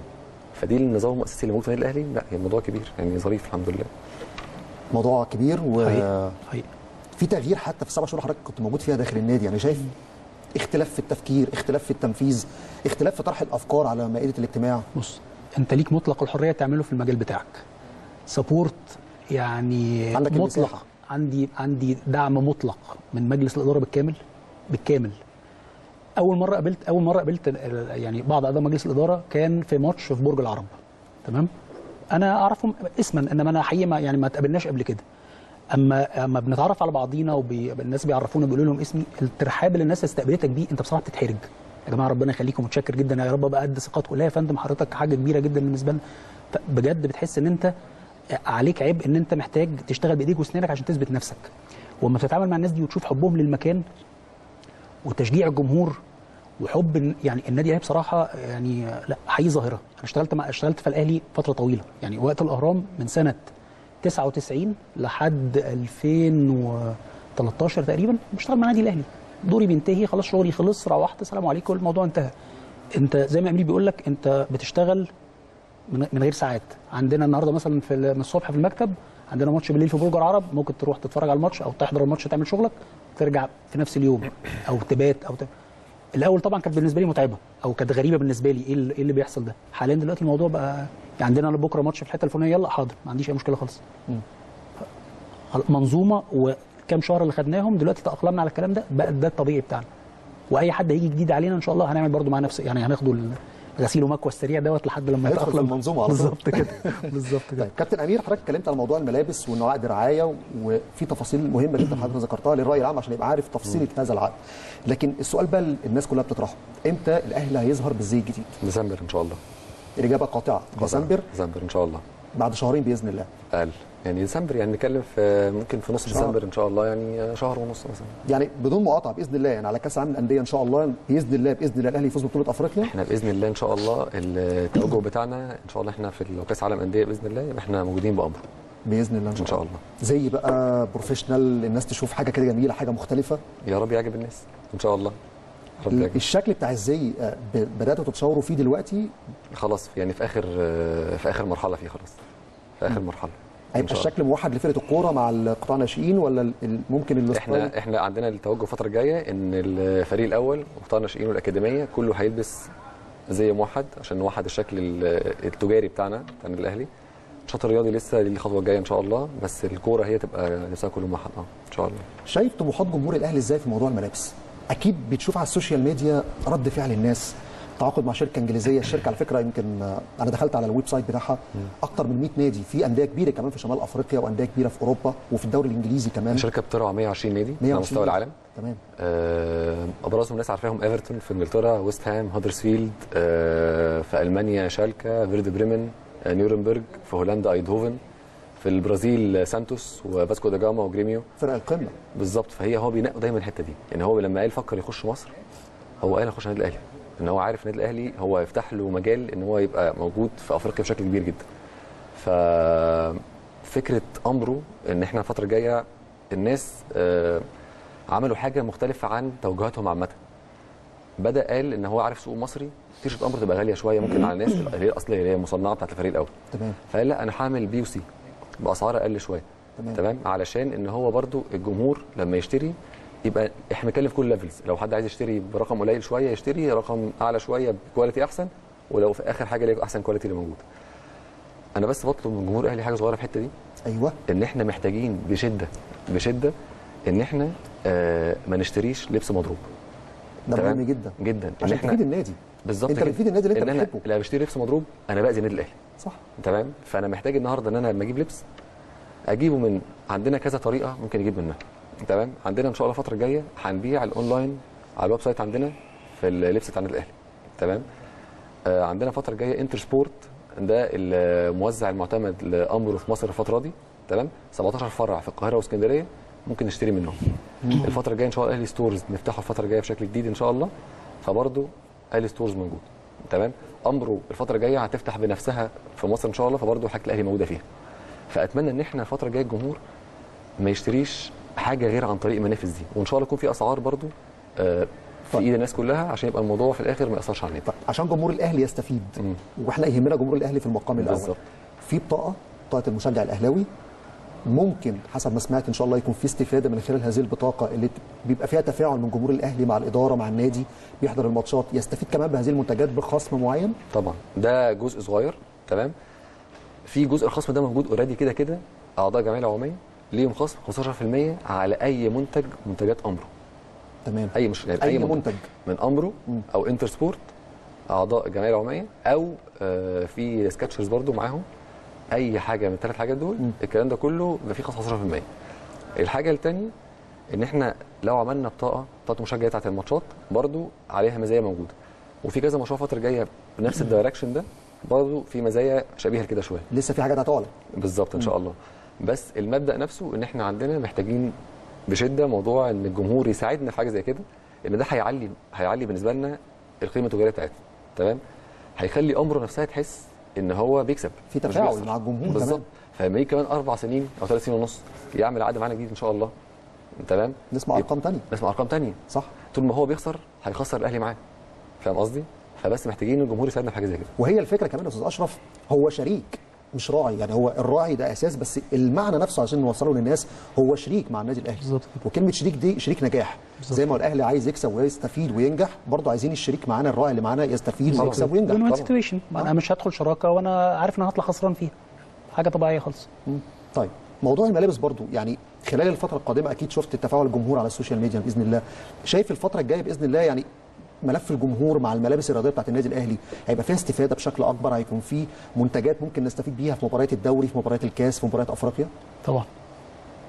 في في استفادة طبعا. يعني المنتجات بتاعت الشركة منتجات كتيرة ومتعددة.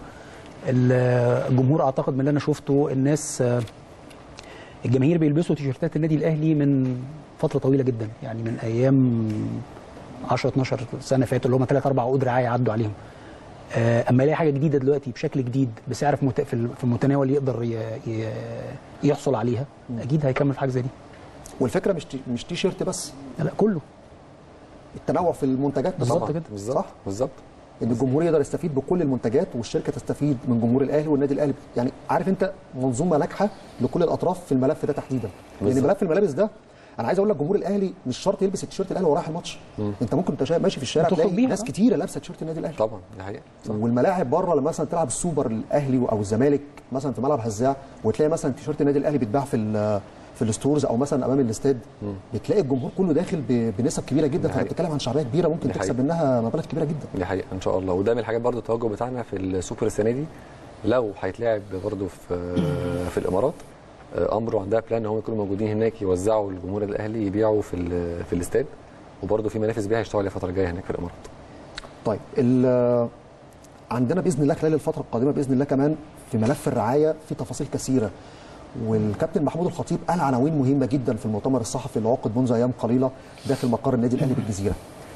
الفكرة اللي عايز أبدأ فيها السرية لأن الناس كلها صحيت فجأة على عقد رعاية ضخم كبير جدا عمل رد فعل صدى إيجابي جدا للناس اللي عارفة قيمة النادي الأهلي وعارفة تاريخ النادي الأهلي وكانت اتفاجئت بكل هذه التفاصيل في وقت قياسي في زمن سريع جدا. مش هقول اشتغلتوا إزاي لأن عارف أنتوا خلايا يعني دايما كده خليه نحل وبتشتغلوا ب- على مدار اليوم 24 ساعة في ال 24 ساعة.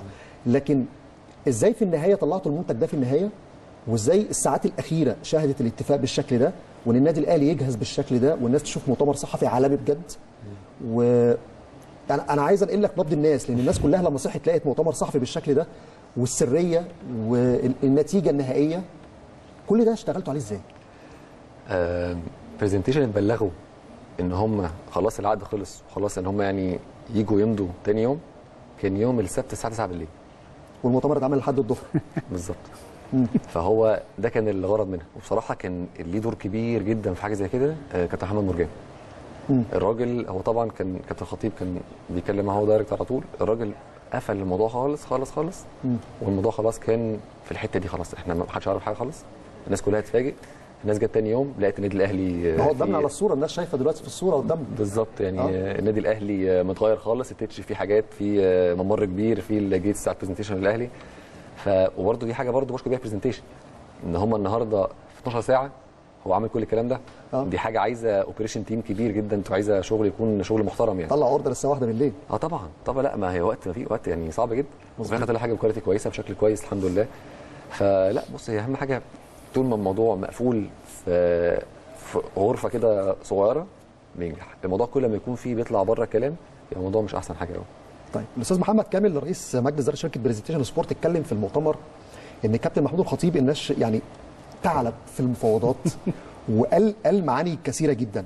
الفكرة إن النادي الأهلي من خلال هذا العقد كسب كتير جدا وتخطى المرحلة السابقة والعقد السابق عشان الناس تشوف فيه مفاجآت في الفترة القادمة. طريقة المفاوضات والاستفادة أنتوا كمان ككوادر شبابية وأنتوا قاعدين مع الكابتن الخطيب في هذا التفاوض إيه اللي لمستوه أو إيه اللي شفتوه؟ اللي إحنا في الأول واشرف قالها كابتن خطيب لا بص يعني في حتة كده مختلفة شوية لأن هو لما يقعد مع حد كابتن خطيب بجد هو بياخد منه اللي هو عايزه. ايا كان بقى هو يعني هو يا جماعة أنا عايز واحد ثلاثة واحد ثلاثة بيحصل. فهو لأ في كده كاريزما مختلفة شوية. آه وده اللي حصل. ان إحنا النهارده زي ما قلت لك الرقم اللي يجي زي ده طبعا آه برزنتيشن مشكورين ان هم دفعوا الرقم ده. الناحية الثانية برضو إن الكابتن يوصل الرقم ده نفسه لأ مش حاجة سهلة. إحنا بنتكلم في حوالي 50 مليون جنيه زيادة لأ رقم كبير مش صغير يعني. فطبعا لأ الموضوع ما كانش سهل خالص يعني. واللحظة اللي إحنا بنتكلم فيها يا أستاذ أشرف قدامنا على الشاشة مقر الجزيرة ملعب التتش تمام. مدينة نصر الشيخ زايد. في التوقيت. واحد بالظبط. شعار النادي الأهلي شعار Presentation Sport وحتى ال slogan بتاع الخاص بالشركة اتغير. بقى جمهور الكرة حياتنا قبل ما كانت الكرة حياتنا. بالظبط. بالظبط. شايف ال- ال- الشكل النهائي ده والسرية اللي تمت بيها هذا الإنجاز العظيم؟ اللي أنا شايف كمان توقيت فرحته جاية مع مباراة نهائي أفريقيا والانتصارات اللي بيحققها فريق الكورة. الحمد لله. إزاي شايف المنظر والمشهد العام ده؟ بص يا فندم السرية دي مش حاجة غريبة عن النادي الأهلي. النادي الأهلي طول عمره آه، جوه ورا الأبواب المغلقة ما حدش بيعرف إيه اللي بيحصل. لحد ما تاني يوم تلاقي وقتها كان الصحافة الورقية حصل كذا كذا كذا كذا كذا. ما في حاجات تسريبات ولا ده. اللي اشتغلنا عليه الفترة اللي فاتت دي اللي ده, ده المبدأ اللي إحنا بنشتغل عليه. وجود Presentation معاك دي برضو حاجة شراكة كويسة لأن Presentation دلوقتي شركة في الفترة اللي ظهروا فيها عملوا نقلة نوعية ملحوظة للناس كلها. وأظن آخرها كان وقت مع المنتخب. ما بين الطيارة وما بين الباص وما بين الشغل اللي اتعمل في المباريات.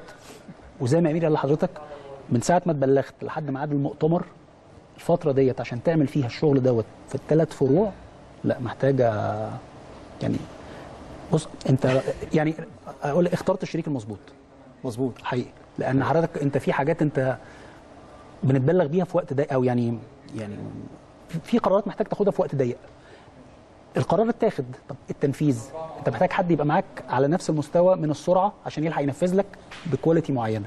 لأن دي اللي إحنا شغالين عليها دلوقتي النادي الأهلي دلوقتي اللي شغالين على ال brand بتاع النادي الأهلي. quality كمان. quality quality. يعني حضرتك دلوقتي مثلا ال- الأسوار على سبيل المثال. آه، أنا اتبلغت بفرع مثلا مدينة نصر. كابتن محمود كلمني قال لي أنا عندي في جزء من السور خلص عايز أعمل عليه علب مضيئة. قلت له تمام يا كابتن إمتى حضرتك؟ قال لي بعد بكرة. مم. أنا بكلمك سور مصمت ما يعني ما علوش أي حاجة خالص. فقلت له يا فندم ده يعني موضوع كبير مش موضوع سهل. ماليش دعوة اتصرف. حاضر أنا الاثنين وفعلا يعني أنا بس يعني طولت يوم زيادة. يعني مش بإيدي والله بس أنا الشركة لما طلبت من الشركة يعمل الكلام ده الراجل بصراحة كان فاكرني بيهزر معايا. يعني أنا كل ما أرفع السماعة أكلم الراجل يقول لي حضرتك بتهزر؟ أقول له يا فندم أنا بتكلم بجد.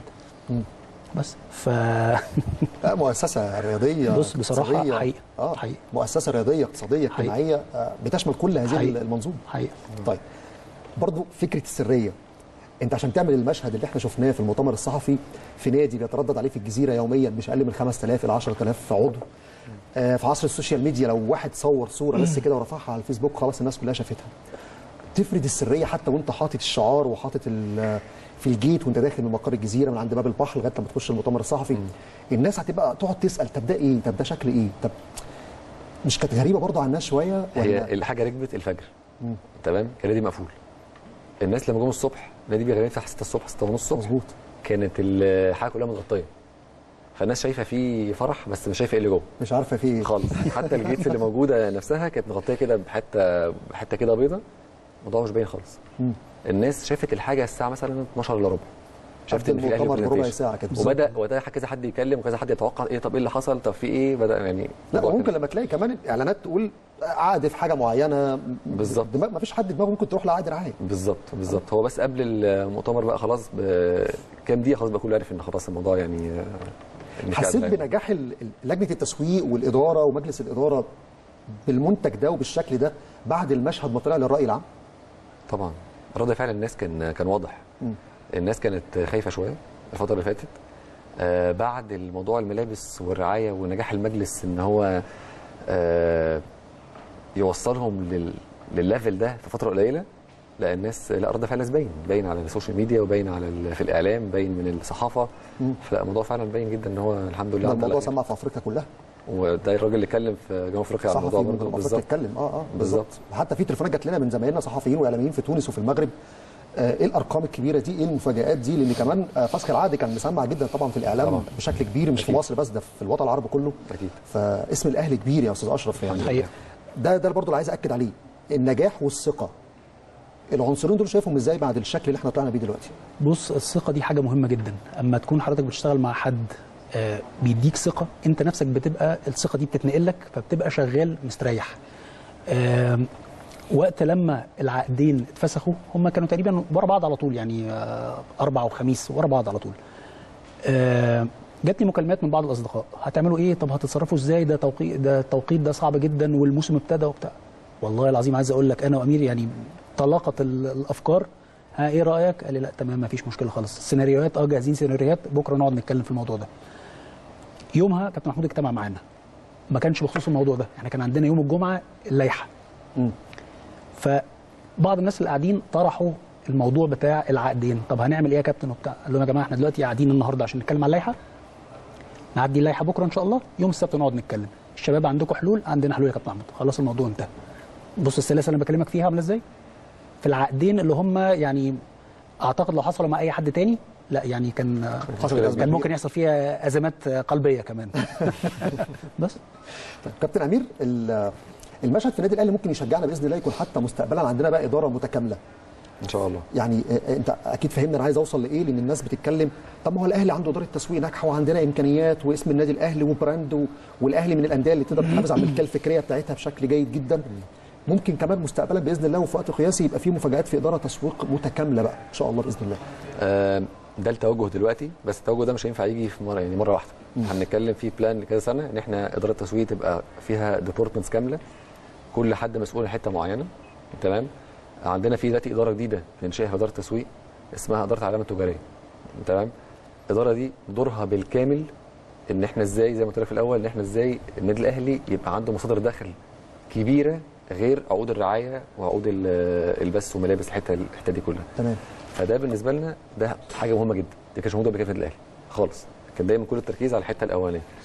فإن شاء الله دي شغلها هيبان في خلال مثلا بنتكلم في سنة من دلوقتي. دي بقى يبان شغل الإدارة إن يمكن إن شاء الله نكون طلعنا وقتها مشروع أو مشروعين دول موجودين في الأجندة عندنا جاهزين من دلوقتي. فيبتدوا يفرقوا شوية. ناس تحس إن الأهلي فعلا بدأ يخش level تاني. ده اللي فارق معانا كله. النادي الأهلي زي ما قلت لك النادي الأهلي كبير آه، في أفريقيا كبير في الشرق الأوسط كبير. بس إحنا عايزين نعدي ال level ده. عايزين النادي الاهلي فعلا يبقى brand واصل للناس بشكل جامد جدا للجمهور بالذات بشكل كبير. طيب الاستاذ أشرف برضه عايز أتكلم في جزئية ال- وكابتن أمير كان اتكلم عليها موضوع ال stores. خلال الفترة القادمة بإذن الله في آه، أمور واضحة في موضوع ال stores خلاص هتبقى محلات ثابتة محلات واضحة للناس تبدأ تشتري منها المنتجات في وقت قياسي في زمن قريب بإذن الله ولا لسه قدامنا مثلا شوية وقت. وقت بس وقت بسيط إن شاء الله. موقفها هيبقى سهل في بسيط. في كذا توجه لل stores إحنا بنتكلم فيه ساعه الخطيب. إحنا بس كنا بنخلص كان في أولويات. إحنا كنا بنخلص عقد الرعاية وبنخلص عقد ال- الملابس ال stores إن شاء الله الفترة الجاية هنتكلم فيها مع كابتن ونشوف التوجه بتاع مجلس الاداره بيبقى يكون عامل إزاي. دكتور سعد كان عنده توجه برضه لل stores حاجة محترمة جدا. فإن شاء الله في الفترة الجاية هتبان التوجه بتاعها بشكل كبير يعني. أكيد هيبقى في استفادة من ما سبق في موضوع ال stores بالذات لأن. الأهلي عايز يتخطى المرحلة دي طبعا. لازم هو لازم. أفضل. لازم طبعا لازم. النادي الأهلي لازم كل stores بتاعته آه، ما تقلش عن stores آه، ريال مدريد أو بارسا أو يوفنتوس ما ينفعش تكون أقل من كده. فده بالنسبة لنا أولوية يعني. طيب آه المكاسب اللي خدها الأهلي من ملف الرعاية. يعني في مكاسب كتيرة وفي أمور كثيرة جدا والأمور المعنوية مهمة جدا لجمهور طبعا. النادي الأهلي وده كان أهم أمر لجمهور النادي الأهلي الأمر المعنوي. طبعا. لكن إيه المكاسب اللي ممكن جمهور النادي الأهلي يشوفها الفترة الجاية من خلال عقد الرعاية؟ آه، مكاسب في العقد نفسه ولا مكاسب من اللي حصل آخر آه، من اللي حصل ومن العقد. من اللي حصل نفسه لا إن نادي الناس لازم تثق في النادي تثق في مجلس الإدارة تثق في الاداره التنفيذية. إن النادي الأهلي في خلال ثلاث أسابيع آه، اتفسخ معاه عقدين كبار آه، بعد ثلاث أسابيع جاب عقدين بقيمة أعلى مع شركات كبيرة جدا. فدي حاجة تبين قد إيه brand الأهلي brand محترم إن إحنا نادي كبير وشركات عايزة تشتغل معانا. فدي أول نقطة نقطة العقد نفسه تفعيل العقد نفسه مع شركة Presentation عندنا في يعني في مزايا زي مثلا معسكرات في مزايا مباريات ودية في حاجات Presentation بتقدمها لينا عامة. الميزه عندنا مع ال Presentation دلوقتي إن هو بقى خلاص هو معاه ال- الرعاية ومعاه البث الفضائي. فالنهاردة الموضوع خلاص إحنا بنتكلم في حتة واحدة. مش عندنا مشكلة إن إحنا في هنا مثلا في مشاكل مثلا في أرض الملعب بين ال... إن إحنا النهارده شركة رعاية أو شركة بث فضائي لأ خلاص هو هو ماسك الموضوع كله. إحنا بنتكلم معاه بنشتغل معاه بنحاول نعلي ال value بتاع النادي الأهلي معاهم في الحتة دي بتاعته. فيها ميزة برضو إن هو بيقول لك ان أنا النهارده إحنا في رقم okay عقد مدفوع بس في كمان رقم تاني موجود إحنا ممكن نسبورت بيه إن الأهلي محتاج مثلا حاجة تانية إن الأهلي محتاج يعمل بطولة معينة يعمل ماتش معين هم الحاجة دي بيساعدونا فيها على طول. بس فيعني حد كل هيبقى الفترة الجاية إن شاء الله. تنظيم بطولات وتنظيم أحداث رياضية. طبعا طبعا. معسكرات الفريق الأول في كل صيف إن شاء الله. عندنا ميزة تانية برضو إن ال- أبطال أفريقيا تبدأ في 12 وتخلص في 5 الموسم ده. مظبوط. بعد كده بس إن شاء الله بإذن الله الأهلي يكسب ويلعب في هو واحد إن شاء الله بالظبط إن. شاء الله. بإذن الله. بعد كده من السنة الجاية بقى خلاص هيبقى أبطال أفريقيا ماشية مع ال- مع جدول الدوري المصري الدوري المصري زي آه، كده بالظبط. كده. فدي ميزة بالنسبة لنا حلوة جدا إن إحنا كان عندنا دايما مشكلة إن إحنا ال calendar حتى التسويق دايما مربوطة ب calendar الكورة. تمام؟ مظبوط. فطول ما الكورة بتلعب كل ثلاث أيام إحنا عندنا مشكلة في ماتشات عندنا مشكلة في معسكرات عندنا مشكلة حتى في activations فالنهارده لما الموسم نفسه يتظبط ويبقى عندنا شهرين اجازه الفريق الأول نلحق نعمل معسكر نلحق نعمل آه، ماتشات وديه مع فرق عالميه بشكل محترم بطوله وديه بشكل محترم أو نعمل activations الفريق الأول تكون كل حاجة خلاص متظبطه في التوقيت. طيب أستاذ أشرف ال- ال- الأهلي كسب في ال semi final ووصل final أفريقيا والمكاسب والنجاحات اللي إحنا فيها عايشينها دلوقتي فترة استثنائية جميلة جدا في جميع المجالات. كرة القدم بتكسب وبتوصل نهائي إفريقيا وده بيساعد كمان في ملف التسويق والرعاية بشكل. كويس وده بالتأكيد يعني وش الشركة الراعية للنادي الأهلي وشها حلو على الأهلي في التوقيت الحالي يوصل نهائي إفريقيا. شايف المكاسب دي إزاي؟ وكنوع بقى يعني كفكر تسويقي وكماركتنج يعني إزاي تستفيد بإن الأهلي يوصل كنهائي إفريقيا وأنت لسه ماضي عقد رعاية؟ شايف المسائل دي إزاي؟ بص حضرتك آه الأهلي اسم كبير جدا.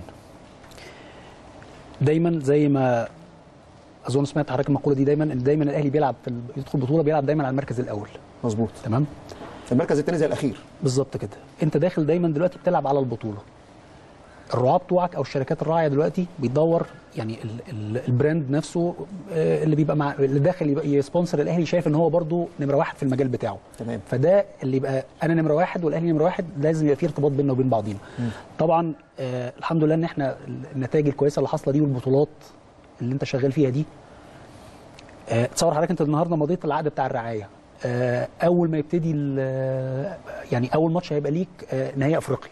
وبعد كده ان شاء الله لو لينا النصيب هتطلع على كاس العالم للأندية. مظبوط. فانت بتتكلم بدايه الإمارات. بتتكلم في بداية نفسها والامارات انت أكنك بتلعب في مصر بالظبط. يعني ملعب في الإمارات أكنك بتلعب في استاد القاهرة بالظبط. مظبوط. وحشنا والله استاد القاهرة بس يعني هانت هانت إن شاء إن الله شاء الله بإذن الله. تمام؟ فدي بص انت بتعلي الاسم بتاعك أكتر ما هو عالي بتخلي آه الثقة بتاعتك آه زيادة جدا. آه الرعاة مش عايز أقول لك إن هم اللي بي يعني مش عايز أقول هم اللي بيجروا وراك بس دي حقيقة فعلا. آه مش عايز أقول لحضرتك إحنا جت فترة كده يعني عملنا اتصال مع مع الرعاة كان ضمن التوجه من التوجهات بتاعتنا. ناس مرحبة جدا بالفكرة دي. آه، حاسين بفرق. النادي حصل فيه فرق ولامسينه وإحنا عايزين فعلا نجرب القصة دي والظروف المعينة. وفي الآخر يعني ان لسه مش يعني مرحلة يعني سابقة عن أوانها شوية. بس بس الحمد لله العقد مع برزنتيشن شركة كبيرة اسم كبير مع النادي الأهلي وإن شاء الله ال- يعني كبير بيشتغل مع كبير. بالظبط كده. والنتائج هتبان قريب إن شاء الله. بإذن الله. كابتن أمير العقد يعني إن شاء الله بإذن الله بيقترب من المليار أو يتخطى المليار وحاجات بسيطة. آه، ممكن إن شاء الله خلال الفترة القادمة نسمع أرقام تانية آه، الناس تتفاجئ بيها إن شاء الله نسمع مفاجآت. رايح كأس عالم أندية وأنا عارف في التوقيت الحالي بما ان الأهلي وصل final أكيد الاتحاد الدولي لكرة القدم فيفا خاطب النادي الأهلي. إزاي كمان كناحية تسويقية نستفيد من ده في كأس العالم؟ لأن دي نقطة آه، منفصلة للنادي الأهلي والاتحاد الدولي. يمكن أنا بيعجبني في الاتحاد الدولي الفيفا تحديدا بيدي الأندية اللي بتأهل, بتتاهل لكأس العالم فرصة إن هي تسوق نفسها بشكل كويس تستفيد من تواجدها في كأس في العالم. في نقط معينة جدا معينة. نقط معينة جدا. صح كده؟ آه في نقط محددة. حاجات حاجات صغيرة جدا. بس آه، شيء جيد ممكن إن شاء الله نطلع بأرقام كويسة. طبعا. ده بيدينا جرعة تفاؤل الفترة الجاية إن شاء الله في أرقام كمان هتفيد النادي الأهلي بشكل كويس عشان الجمهور يسمعنا. طبعا كده كده كأس عالم أندية آه في فرص تسويقية محترمة جدا. تمام؟ هي آه يعني مش كبيرة قوي لكن موجودة. آه لكن برضو ال target بتاعنا مش هو ده. إحنا النهارده مش بن target إن إحنا النهارده آه نجيب مثلا آه، مشروع يكسبنا مثلا آه 2 مليون جنيه. هي مش كده. إحنا النهارده إحنا إحنا موجودين. جزء علامة تجاريه قلت عليها دي. الديبارتمنت ده هو معمول علشان إن هو يخلق النادي الاهلي مصادر دخل كبيرة. يعني من غير أرقام دلوقتي موجودة بس بنتكلم في لأ فرق. على المدى البعيد كمان. على المدى القريب والبعيد إن شاء والقريب الله. والبعيد. فاهم قصدي؟ في حاجات قريب في حاجات على المدى البعيد. وفي حاجات على المدى البعيد وفي الآخر لما تخلصها مثلا مع شركات معينة تبقى ملك النادي. فيبقى ده اسد جديد تدخله في عقد الرعاية الجاي فاهم قصدي؟ يعني في كذا حاجة موجودة الفترة الجاية. إحنا النهارده عندنا كذا مشروع موجود حاجات صغيرة أوكي تمام؟ ممكن بنستفيد بأرقام صغيرة. في شهر أو شهرين. بالظبط كده. دي حاجات بتحصل. لكن الأساسي بالنسبة لنا إن إحنا إزاي نخلق النادي الأهلي نض- نضاعف من آه، دخل الفترة الجاية. ده هيساعد النادي الأهلي في الإنشاءات هيساعد فريق الكورة في في التعاقدات. فده بالنسبة لنا. جدا. ما الأرقام دي كلها عشان الناس بتس- بتستنى موضوع التعاقدات بالظبط. هيساعد النشاط الرياضي إن هو يكون آه، مستقر. هيساعد الموظفين انه يكون في كل يعني فاهم قصدي؟ هي الفكرة كده. صح. فإن شاء الله في وقتها كل موارد مالية مهمة عشان تقدر بالظبط. تصرف انت بتصرف فلوس كتير جدا بالظبط. على ألعاب كتير. أنت مش بتلعب كرة قدم أنت بتلعب حوالي 19 لاعب. بالظبط. بالظبط. طيب فرصة طيبة إحنا في الإمارات؟ أو بإذن الله إن شاء الله بإذن الله نبقى في الإمارات؟ إن شاء الله. فرصة جيدة في كل المجالات. مش بتكلم في رعاية بس لا رعاية وملابس وكل شيء. ملابس أساسي بالنسبة لنا آه إن إحنا لو بدأنا إن شاء الله هناك وبإذن الله وكانت آه أمره معانا آه ده بتدي طلعة كويسة للنادي الأهلي عامة. آه زي ما أشرف قال من شوية طول ما النادي الأهلي بياخد بطولات بيظهر في كأس عالم انديه بيظهر في نهائي أفريقيا أي brand شغال معاك هو مستفيد. يعني brand اللبس اللي موجود معاك هو دلوقتي بيظهر في في أعلى آه، بطولة للأندية في العالم. لو brand عندنا مثلا brand أساسي موجود brand رئيسي هنا موجود هو موجود في أعلى بطولة في العالم أو في بطولة أفريقيا. فطول ما الاهلي بياخد الدوري الكاس أفريقيا الموضوع تلاقيه دايما بيعلى معانا واحدة واحدة. طيب أكيد أنا أنا سعيد جدا بهذا الحوار وكوادر شبابية ممتازة جدا وفكر تسويقي مهم جدا للنادي الأهلي والرياضة المصرية. لما بتشوف النادي الأهلي بيرسي مبادئ مه- مهمة جدا استراتيجي بيتحط من خلال مجلس إدارة إدارة تسويق بيرأسها الدكتور سعد شلبي وحاطط تخطيط ليها بشكل جيد. ثم كوادر شبابيه بتنفذ على أرض الواقع كل هذه الأفكار والإطروحات بشكل إيجابي عشان في الآخر نشوف المشهد الجميل اللي إحنا شفناه في الجزيرة وكل الجمهور بيحتفل بيه وفرحان بيه. الحمد لله. الحمد لله. كلمة أخيرة يا أستاذ أشرف. ربنا يكرمنا إن شاء الله ونبقى قد المسؤولية ونعمل حاجة تسعد النادي الأهلي وجمهوره إن شاء الله. السعاده في سبع شهور مختلفة تماما عن الشغل اللي عشته قبل كده حقيقة. بشكل حقيقة. كام درجة؟ 360 درجة؟ يعني بص يعني شريط بيجري بسرعة. يعني أنت بس عارف دايس آه، عشان الأيام الحلوة بتجري بسرعة. كابتن أمير توفيق. آم، لا بس بقى جمهور الأهلي ناحيه الفترة الجاية آه، النادي الأهلي فيه تطور كبير. آه، من ناحية تسويقية إن شاء الله بالذات في آه، كذا مشروع آه، هيبسطوا منه هيتفاجئوا بيهم بشكل كبير يعني إن شاء الله. آه، واطلب منهم زي ما قلت لك من شوية إن آه، لو سمحتوا ما حدش يشتري لبس الأهلي مضروب. تمام. النادي الأهلي لازم يكون الطقم الأساسي عشان غير كده هو بيأذي النادي نفسه. وهتوفر لهم كل ال بالظبط. ال- يعني ال- الأجزاء المتاحة في موضوع الملابس في جميع الدرجات. جميع الدرجات بالظبط كده. فاتمنى إن هم يساعدوا حاجة زي كده. أنا سعيد جدا بهذه الحلقة بجد على المستوى الشخصي وسعادتي أكتر كمان بوجودكم النهارده معايا. كابتن أمير توفيق أنا أعرفه من سنوات طويلة جدا ولقى نفسه في مجال يمكن حظه كان سيء جدا في كرة القدم لكن لقى نفسه في مجال مجال مهم جدا لا يقل أهمية عن كرة القدم. وأتمنى لك التوفيق يا كابتن أمير بجد كمدير للتسويق في النادي الأهلي. أستاذ أشرف أنا سعيد جدا بهذا اللقاء معاك كنائب مدير التسويق والفترة القادمة إن شاء الله بإذن الله يكون في أفكار مختلفة والنادي الأهلي يستفيد بوجودك كمان مع كابتن أمير والدكتور سعد. والكابتن محمود الفاطمي إن شاء الله شكرا جزيلا شكرا جزيلا. شكرا. مشاهدي قناة الأهلي في كل مكان يعني فقرة مختلفة تماما في تفصيلها وفي أفكارها وفي تناولها. وقلنا عناوين مهمة جدا في هذه الفقرة لكل جمهور النادي الأهلي عشان يشوف ملف التسويق والرعاية والموارد المالية اللي ممكن الأهلي يستفيد بيها خلال الفترة القادمة. وإحنا الفترة الحالية بصراحة بنعيش أيام استثنائية وأيام خاصة جدا أيام فيها فرح وسعادة. وإن شاء الله هتكمل على خير بإذن الله مع نهائي إفريقيا. يوم 9 نوفمبر القادم بإذن الله والأهلي يعود من استاد رادس بإذن الله بالبطولة الأفريقية ويكون اللقب التاسع. ومن ثم بإذن الله يتواجد من جديد نعود لأمجادنا السابقة في كأس العالم للأندية في الإمارات بإذن الله. فقرة كانت مهمة بشكر فيها ضيوفي. والفترة القادمة بإذن الله ننتظر المزيد والمزيد من النجاحات للإدارة والفكر التسويقي لإدارة التسويق يا رب خلال الفترة القادمة. لكن ما تروحوش بعيد بعد الفاصل هيكون معاكم الكابتن خالد العوضي وفقرة استثنائية أخرى في الألعاب الأخرى وإنجازات طيبة اتحققت للعبة السباحة في النادي الأهلي واللي كانوا موجودين في معسكر بلغاريا. وفي بطولة بلغاريا وحققوا ميداليات ذهبية في جميع المنافسات كعاده النادي الأهلي في جميع المجالات. فاصل ثم الكابتن خالد العوضي بعد الفاصل.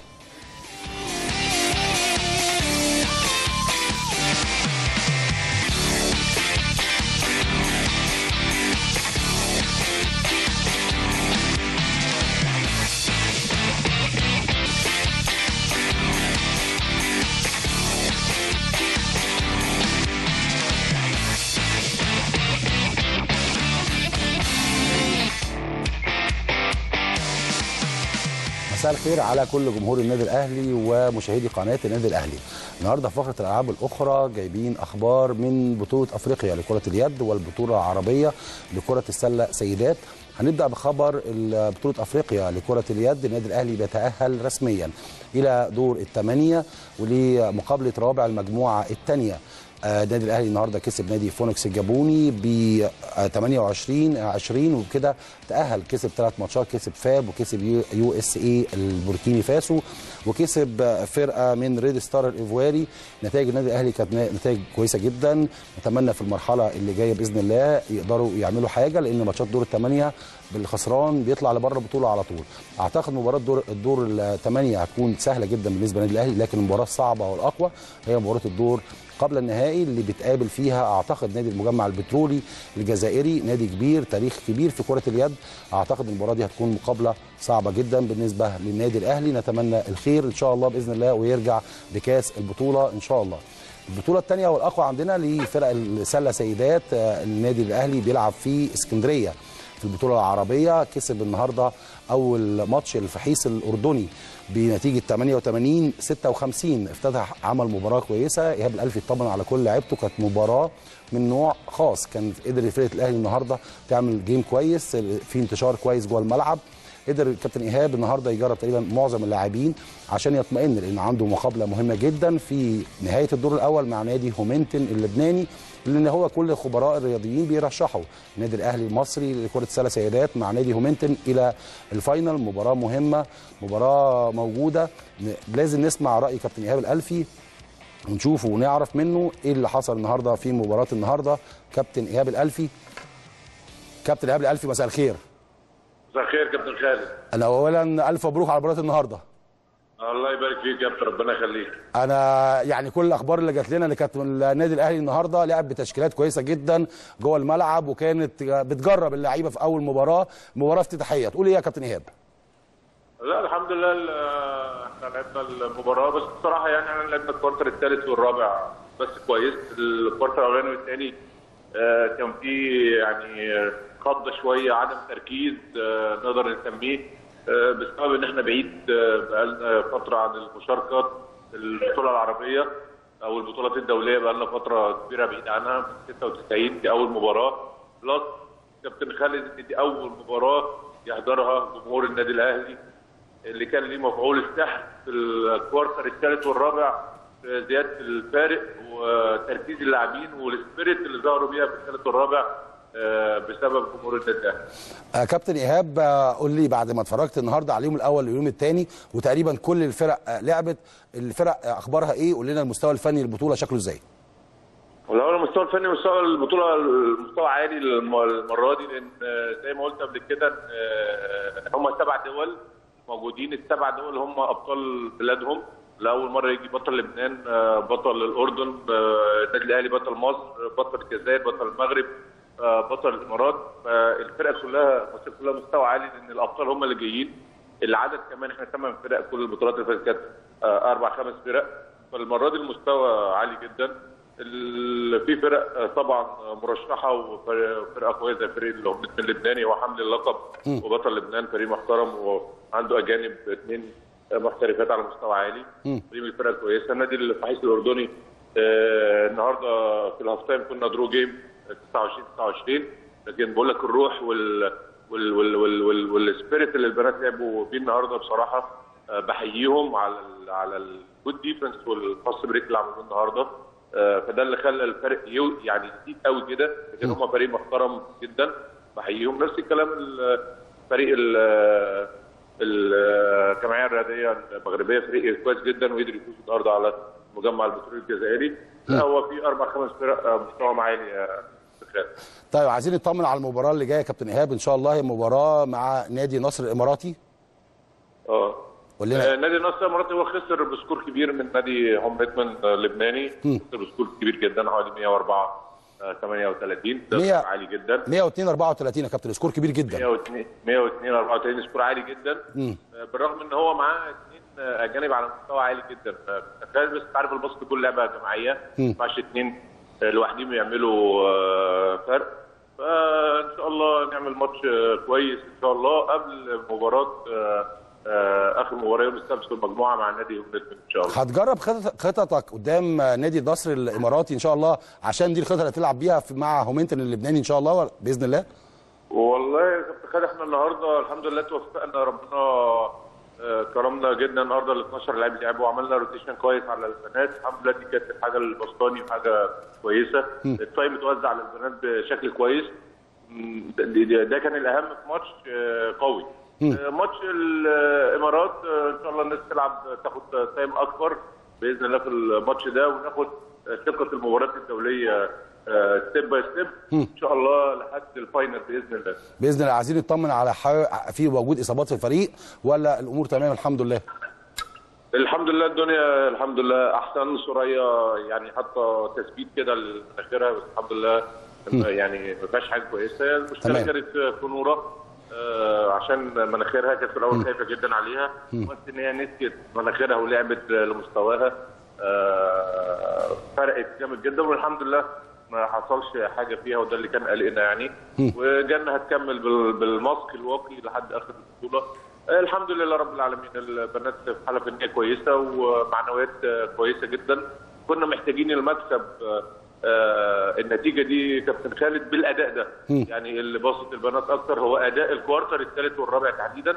هو آه، ده ده, ده, ده الإيجابية الكبيرة. وال start القوي اللي بنوصل message لكل الفرق ان النادي الأهلي آه، جاي مش يشارك بعد 22 سنة إن شاء الله النادي الأهلي ووراه جمهوره جاي ينافس على البطولة إن شاء الله العربية. كابتن ايهاب الالفي بنشكرك شكرا جزيلا وإن شاء الله كده بإذن الله نت... يعني نتابع معاك مباراة مباراة وإن شاء الله نبارك لك على البطولة بإذن الله. هو ده النادي الأهلي وهي دي سيدات النادي الأهلي. بدأوا مباراة النهارده عندهم مباراة بعد بكرة مع النصر الإماراتي وبعد كده مع نادي هومنتن اللبناني.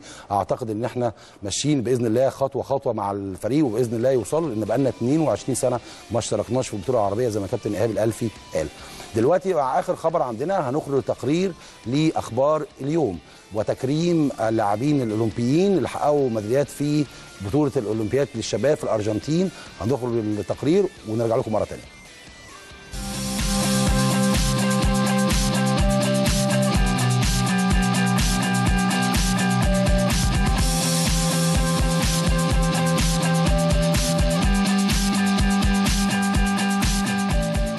طبعا الحدث كل أربع سنين اولمبياد الكب- الكبار أو أولمبياد الشباب. بنفرح بأولادنا آه، مصر في تقدم مستمر من أول اولمبياد الشباب 2010 2014 2018 الميداليات بت- بتزيد وبتزيد بنسبة كبيرة وبنطلع في الترتيب العالمي مخلصين 22 على 205 دولة. حاجة عظيمة جدا بنفتخر بيها كلنا. آه، أنا طبعا مبسوط بصفة خاصة بصفة رئيس اتحاد الخماسي الحديث الخماسي الحديث الحقيقة قفل البطولة. أحرزنا ذهبية الولاد واحمد أسامة الجندي وذهبية البنات سلمى أيمن برقم عالمي جديد ورقم أولمبي جديد. فحاجة جميلة جدا. ثم تقع قرعة كمان الزوج المختلط آه، يقعوا مع لعيبة أقوياء الحقيقة ويفوزوا بالذهبية والفضية. ف يعني أنا فخور بيهم الحقيقة وإن شاء الله هتسمعوا آه، يعني أخبار كويسة في 2020 و24 و28 عندنا أجيال تصمت في الخماسي الحديث ل يعني عشرات السنين إن شاء الله. أنا أصلا كنت متوقعة إن أنا أحقق الذهب بصراحة بس يعني الحمد لله. إن هي جت فضة بسبب الظروف اللي حصلت هناك. أنا ما كانش فرق بيني وبين اللعيبة اللي عملت أول كتير. هو فرق كان متر وكام سنتي يعني كنت أقدر أعملها. أصلا هي عامله 72 كسور أنا كنت ليا 73 متر. فيعني كنت أقدر إن أنا أحقق ميدالية بس يعني الحمد لله. كانت عندي إصابة قبل الماتش بشهر كده جات لي. طولت معايا جا- 25 يوم. فعالجتها وكده فقعدت أعالج فيها شهر أو أقل من شهر شوية وبدأت إن شد نفسي جامد قبل الماتش ب 10 أيام. فحققت تاني ما قدرتش أحققه. غلبت بكيلو يعني. هي كانت بطولة جميلة و- وكنت رايح المنافسة كانت على الذهب ما كانتش على البرونز. بس وأنا في رفعة الخطف حصل لي إصابة يعني صعب إن أنا أكمل عليها والحمد لله كملت و... وكسبت اللاعب الأرميني والأوزبكستاني في رفعة ال clean والنطر. وهو لو كنا في بطولة عالم كنت أنا خدت منهم ذهبية ال clean عشان إحنا رفع أثقال ثلاث ميداليات خدت clean مجموع لكن اولمبياد ميدالية واحدة. فأنا خدت ميدالية المجموع اللي هي البرونز بسبب الخطف. لكن أنا كسبان. هم خدوا الخطف وال total المجموع أنا بصراحة كنت متوقعة ذهب وكنت ماشية من هنا إن أنا حاطه عيني على الذهب وكنت أتمنى إن أنا أحقق حلمي والحمد لله ربنا كرمني ورفعت علم بلدي وشرفت اتحادي وكل مدربيني والحمد لله. كان عندي كان نفسي أجيب آه، ذهب أو لو يعني أوصل للنهائي بس ما حصلش نصيب مع اللاعب مع اللاعب الروسي بس ولعبت مع كندا على البرونز. وغلبته الحمد لله. الفرقة كلها كانت لعيبة رجالة وكانت قد المسؤولية. إحنا كنا ناويين إن شاء الله إن إحنا نجيب حاجة لنفسينا. إحنا رايحين من أول يوم مش رايحين نهزر. إحنا كنا رايحين عارفين إحنا عايزين إيه. كمان خصوصا إن إحنا ما عملناش ماتشات ودية فاحنا كان بالنسبة لنا الموضوع صعب. في فرق كتير معانا في المجموعة عملت ماتشات ودية جامدة قوية جدا. العراق مثلا خدت بطولة في كرواتيا وإحنا رايحين من غير ما نعمل خالص أي بطولة ودية. بس فربنا إحنا كنا ده كمان كان حافز لينا إحنا على قد ما كانش فيه اهتمام قوي بس إحنا كان حافز لينا إن إحنا ما عملناش أي حاجة. فالحافز ده طبعا خلانا إن إحنا عايزين أكتر وناويين أكتر على ال... كان عندنا عزيمة وإصرار أكتر إن إحنا لازم نجيب حاجة ونعرف مصر كلها إن إحنا فرقة كويسة والناس كلها تهتم بينا. كان الجمهور أصلا كان أصعب من اللعيبة اللي إحنا بنلعبهم. هم عندهم أصلا اتنين بيلعبوا في برشلونة بس برشلونة بيه فماتش كان صعب علينا بس إحنا يعني الحمد لله رجالة وإحنا مش ما بيهمناش اي حد. إحنا الحمد لله يعني رايحين ومركزين ان إحنا هنعمل حاجة وهنرجع بميدالية.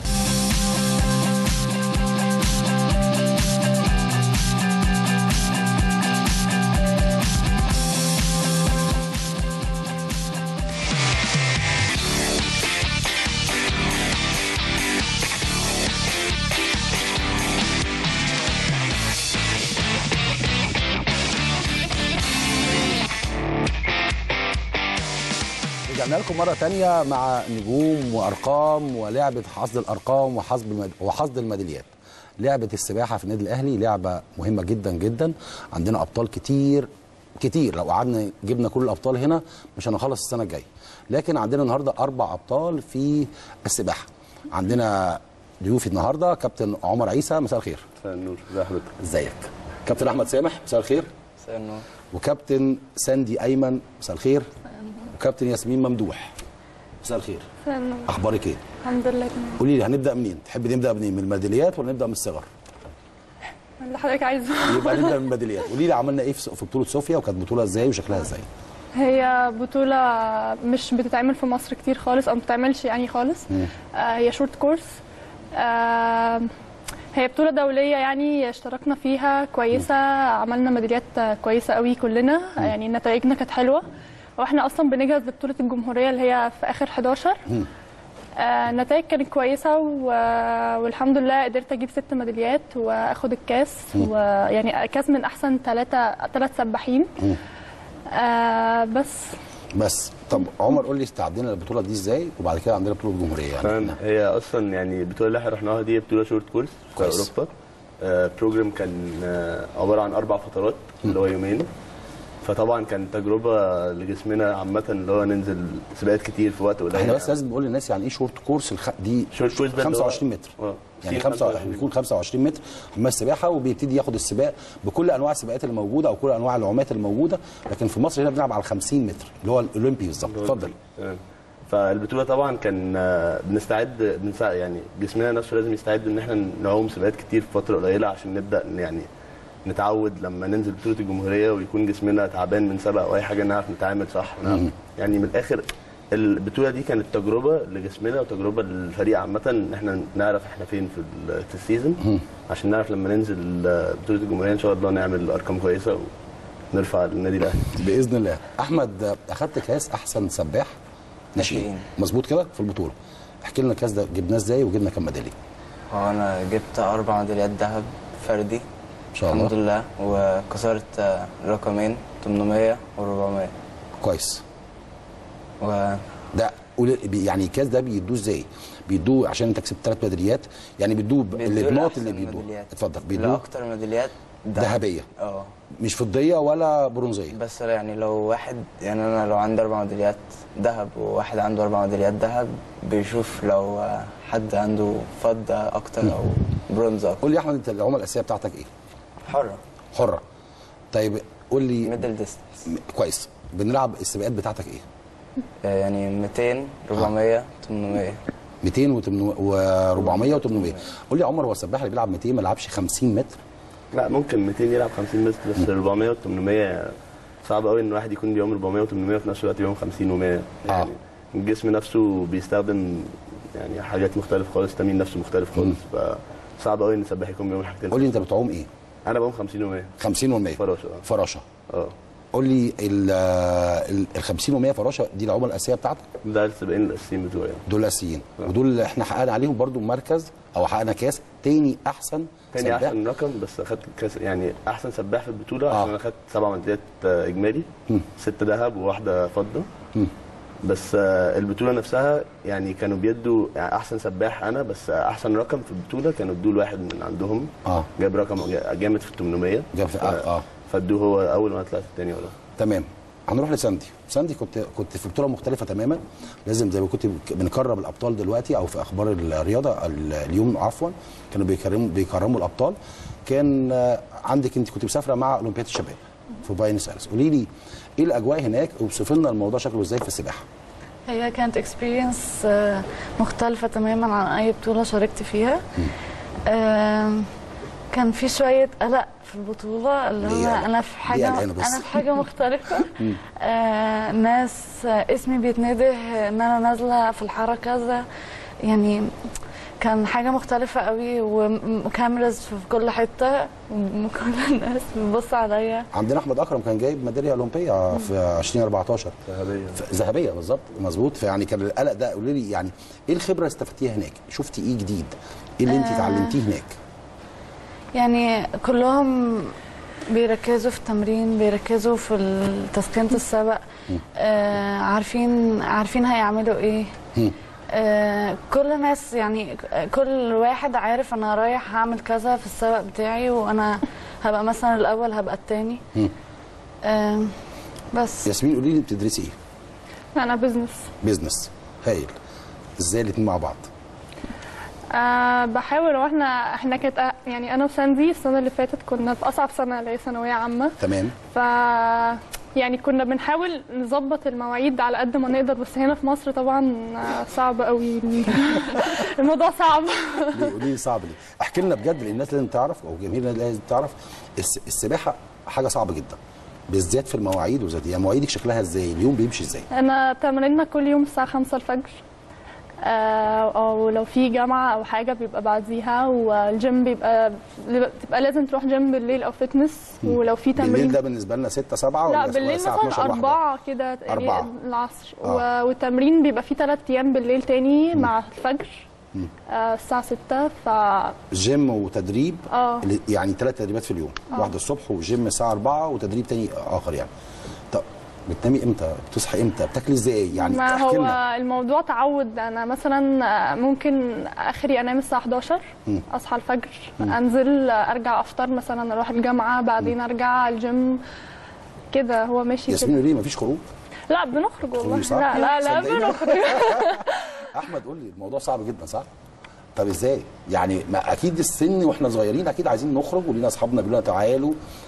بس أنت عايز تطلع بطل. بتقول إيه؟ بتعمل إزاي مع اصحابك؟ بتتعامل إزاي مع المواقف دي؟ يعني أنا ما بخرجش دايما يعني صحابي دايما بيخرجوا ساعات في ال weekend و... وساعات في ال week نفسه. فأنا دايما بخرج في, في ال weekend وساعات مش دايما. وهو عادي يعني بالنسبة لطالب مش مش قوي بس يعني هو بس لما بنوصل ثانوية عامة هي بتبقى صعبة. هي بتبقى جامعة هي بتبقى صعوبه آه. قول لي يا عمر إحنا عندنا أبطال كتير في السباحة قدام وجداد وعندنا زي كابتن أحمد أكرم علي خلف الله كل الكلام ده. قول لي إمتى بطل في مصر يقدر يقف على منصة التتويج في الأولمبياد؟ يبقى زي مايكل فيليبس. آه. مش لازم طبعا زي مايكل فيليبس بس مايكل فيليبس علامة عالمية في آه، العالم طبعا. يعني. آه بس آه، إمتى؟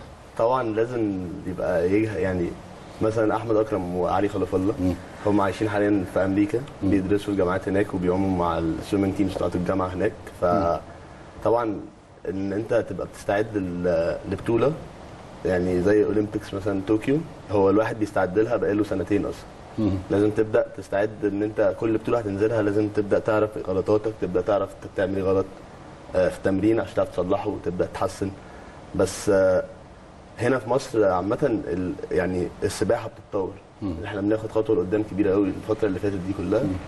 فاحنا ماشيين في الطريق الصح إن شاء الله على طوكيو وان شاء الله هنحقق مراكز نقدر. كويسة. نقدر نحقق مراكز كويسة أو أرقام كويسة حتى. أرقام كويسة مراكز كويسة يعني. قولي لي ساندي قولي لي كان من زمان أيامي يعني وأنا بلعب كان جنوب أفريقيا محتكرة السباحة الأفريقية. دلوقتي إحنا داخلين معاهم بنعدي ونخش فعلا زي ما عمر قال على المستوى الدولي. هو أنا بت... لعبت بطولة أفريقيا. وطلعت الأولى هايل. وكسبت بتوع جنوب أفريقيا. بالظبط. إحنا يعني إحنا كان الأول كان جنوب أفريقيا فيها عائق. زمان. كانت دلوقتي بنعدي جنوب أفريقيا خلاص. مظبوط؟ آه. وانت كسبتي البطولة دي. شايفة فريده عثمان فين؟ بطل مثل أعلى. نجمه مثل أعلى. آه. هي مثلك الأعلى في الحياة. قولي لي اتكلمتي معاها قبل كده؟ قعدتي معاها؟ آه في بطولة الأفريقية اللي إيه اللي فاتت. دار قولي لنا آه هي لذيذة. فريندلي قوي. مش ما حسيتش إن أنا يعني قلقانة وأنا بكلم معاها بس حسيت إن هي حاجة أنا بشوفها في التلفزيون بس أو في الصور. شفتها بقى في الحقيقة. شفتيها معاها. والدنيا كانت معاكي؟ مفيش مشكلة. وسألتيها بتتمرن إزاي وكده؟ لا يعني ما دخلتش قوي. ما دخلتيش في الأعماق. آه. طيب أحمد قول لي إحنا لما سافرنا بطولة صوفيا آه كنا 70 لعيب آه 60 لعيب. عفوا صح؟ مظبوط كده؟ كنا 52 52 45 سباح و70 ميدالية. جبنا 71 آه. 70 70 ميدالية صح؟ قولي شايف الموضوع إزاي؟ يعني إزاي؟ يعني الاهلي 50 50 بيجيبوا 70 ميدالية. قولي رأيك إيه؟ ما هو عشان كل واحد ليه تخصصه. فيعني لو واحد ط- زي middle distance تخصصه أنا يعني الحمد لله جبت في ال 200 وال 400 وال 800 وال 100 تمام. بس دي كانت exception في البطولة دي. مم. طب جوه مصر بنعمل إيه؟ لا مش جوه مصر. عشان لازم ندوس في مصر آه. كلها صح؟ نروح بالطريق قول لي وفا يعني احسب كده بقى على 50 واحد فهتلاقيها بتجيب 70 وهتلاقيها قول إحنا لينا. ترتيب جوه البطولة دي ولا ترتيب إحنا؟ طبعا النادي الأهلي كس- كسبنا البطوله فرق آه، كبير قوي النادي الأهلي رقم واحد آه طبعا ما شاء الله قولي لي في البطولة دي كان مين بينافسنا هناك؟ هو هي بطولة يعني زي عندنا مثلا هنا الجمهورية اشترك فيها أكتر من آه، 30 نادي هناك آه، في في بلغاريا نفسها يعني. كان فيها ناس يعني جامدين يعني إحنا كان بينزل معانا كل واحد نازل معاه في السبق آه، اتنين تلاتة بينافسوه. آه بس إحنا الحمد لله يعني قدرنا ان إحنا نكسب البطولة دي. آه، قولي لي شفتي إيه هناك مختلف في البطولة دي؟ قلتي ده لازم يحصل عندنا في البلد. فعلا. في تنظيم عندهم شوية يعني إحنا إحنا هنا برضو في حاجات بتتعمل كده. لا لا قولي لي لا عايز أعرف بجد. هي هي حاجة عادية بس هي كل بلد فعلا بيبقى ليها تنظيمها. يعني إحنا بنشوف حاجات إحنا مش بنشوفها هنا كتير فبنبقى اللي هو حاجات جديدة. طب بصي أنا هقولها. لك. أنا بشوف تنظيم السباحة بياخدوا الأسماء بتقعدوا في في المنطقة آه، مخصصة للأ- للسباحين ويدخلوا الإعداد. على الإعداد بالظبط. بعد كده يخشوا. هل هناك في موسيقى؟ هل والصور بدأت تشتغل. إيه رأيك في الصورة دي؟ قولي لي الصورة دي إيه؟ ده هنا باين كل حاجة حلوة. الأهلي ومصر وكاسبين البطولة لسه وكنا في آخر يوم فعلا. جوه الملعب. آه كنا كنا في آخر يوم خلصناها و... وطلعنا الأول. قول يا عمر. إيه إيه الصورة؟ كان آه، كنا وإحنا بنستلم الجوائز في الآخر بنصور صورة مع كابتن إبراهيم الكفراوي وكابتن وائل عزة. آه. ده كابتن أحمد ده أنا وياسمين وأحمد وحمدي حمدي ده بطل آه،. في مصر. كابتن أحمد يعني. حمدي هو كابتن فريق يعني آه. كابتن فريق النادي الاهلي في السباحة. آه ما شاء الله. ما عرفش يجي النهارده. مم. ياسمين انت دي؟ آه أنا دي أنا دي. كمان. ودي كمان انت طب. ها، الصورة دي كانت ساعة أي استلام؟ أنا إيه؟ كنت باخد الكاس يعني كنت من أحسن ثلاث سباحين في البطولة. كانت آه ده كان أحسن سباح. ده أنا وأحمد. ده أنت وأحمد؟ مع بعض. أحمد قول لي إيه الصورة دي فين؟ ده بره الاستاد. بره الاستاد؟ آه. خد جوه الاستاد جوه المية. مظبوط. طب قولوا لي يا عمر إحنا ان شاء الله باذن الله دي ساندي بس عشان ما ننساش. دي ساندي وهي في الأولمبياد. أيوه بتصور مع الأولمبياد كلها. تمام. قول لي يا عمر إحنا بنستعد للمرحلة. عندنا إيه في اللي جاي؟ آه طبعا كل واحد فينا ليه تارجتس مختلفة بس إحنا يعني البطولة اللي جاية اللي كلنا نازلينها وكلنا مركزين عليها بطوله الجمهورية اللي ان شاء الله هتبدا من الأسبوعين في أول 11 وتكمل معانا لغاية عمومي في آخر آه، 11 إن شاء الله. وبعدين بقى كل واحد فينا هيبدأ يعمل حاجة. يعني مثلا أحمد هيبدأ يستعد لبطولة آه، العربية للناشئين مثلا سنة 2019 فين هتلعب؟ يا احمد؟ لسه ما قرروش. وعندنا إحنا هيكون عندي بطولة العالم السنة اللي جاية إن شاء الله بنبدأ نجهز لها. عندنا بطولات بنحاول نتاهل لها يعني إحنا بنتكلم كنادي أهلي الأول بعد كده نخرج على بطولات العالم. عندنا الاهلي عندنا, عندنا جمهورية. شهر 11 هتلعب فين بطولة الجمهورية؟ في الاستاد إن شاء الله في الاستاد. وكل فرق النادي الأهلي بتستعد ليها. أعتقد النادي الأهلي هو البطل. آه إحنا هو إحنا ابطال آخر محتكرين. الجمهورية كسبناها مظبوط؟ آه. أحمد بتستعد لإيه في المرحله الجايه كفردي مظبوط كده؟ شوف السؤال كده مظبوط؟ طيب قول لي- قول لي يا أحمد. آه، بستعد ك يعني عمر قال لي إن عندك بطولة عربية. آه. أنا لازم أتمرن كل يوم ما ينفعش أغيب. وبحاول أوافق ما بين الدراسة وال... والسباحة. بس لح- حاسس يعني إن السباحة واخدة أكتر من الدراسة بشويه كتير. ما يفرقش معاك اسمع كلامي خليك في السباحة. أنا بقول لك خليك في السباحة. أحمد بيقولوا عليك كلام كويس جدا. كل الناس اللي في محيط السباحة قالوا لي الكلام ده استنى الاسم ده قريب. فانا بقول لكل جماهير الأهلي استنوا الاسم ده قريب. أحمد أكرم الجديد. أحمد أكرم الجديد؟ ما شاء الله. قول لي فيديو إيه ده؟ دي 100 فراشه بتاعتي. ده ال 100 فراشه بتاعت عمر. آه. تمام. اتفضل يا أحمد. إيه رأيك في الكلام اللي بيتقال؟ يعني يا ريت والله يعني. لا ما هو مش يا ريت بقى. قول لنا يعني الناس بتقول كده. لا لازم تقول لي قول لي عشان إيه؟ عشان أنت بتحقق على طول ما شاء الله أرقام وبتحطم آه بتحطم بس أرقام. يعني هو hard work pays off يعني بحاول على قدر الإمكان إن أنا أعمل أحسن حاجة عندي. أحمد نتمنى ليك التوفيق. قول لي عمر ده كان سباق إيه؟ ده ال 100 فراشه هناك. ده ال 100 فراشه في ال- في البطولة. في البطولة هناك. ده كسبته. آه أنا. الحاره أربعة آه حسن ياسر سباح برضه من الأهلي كان حاره خمسة جنبي.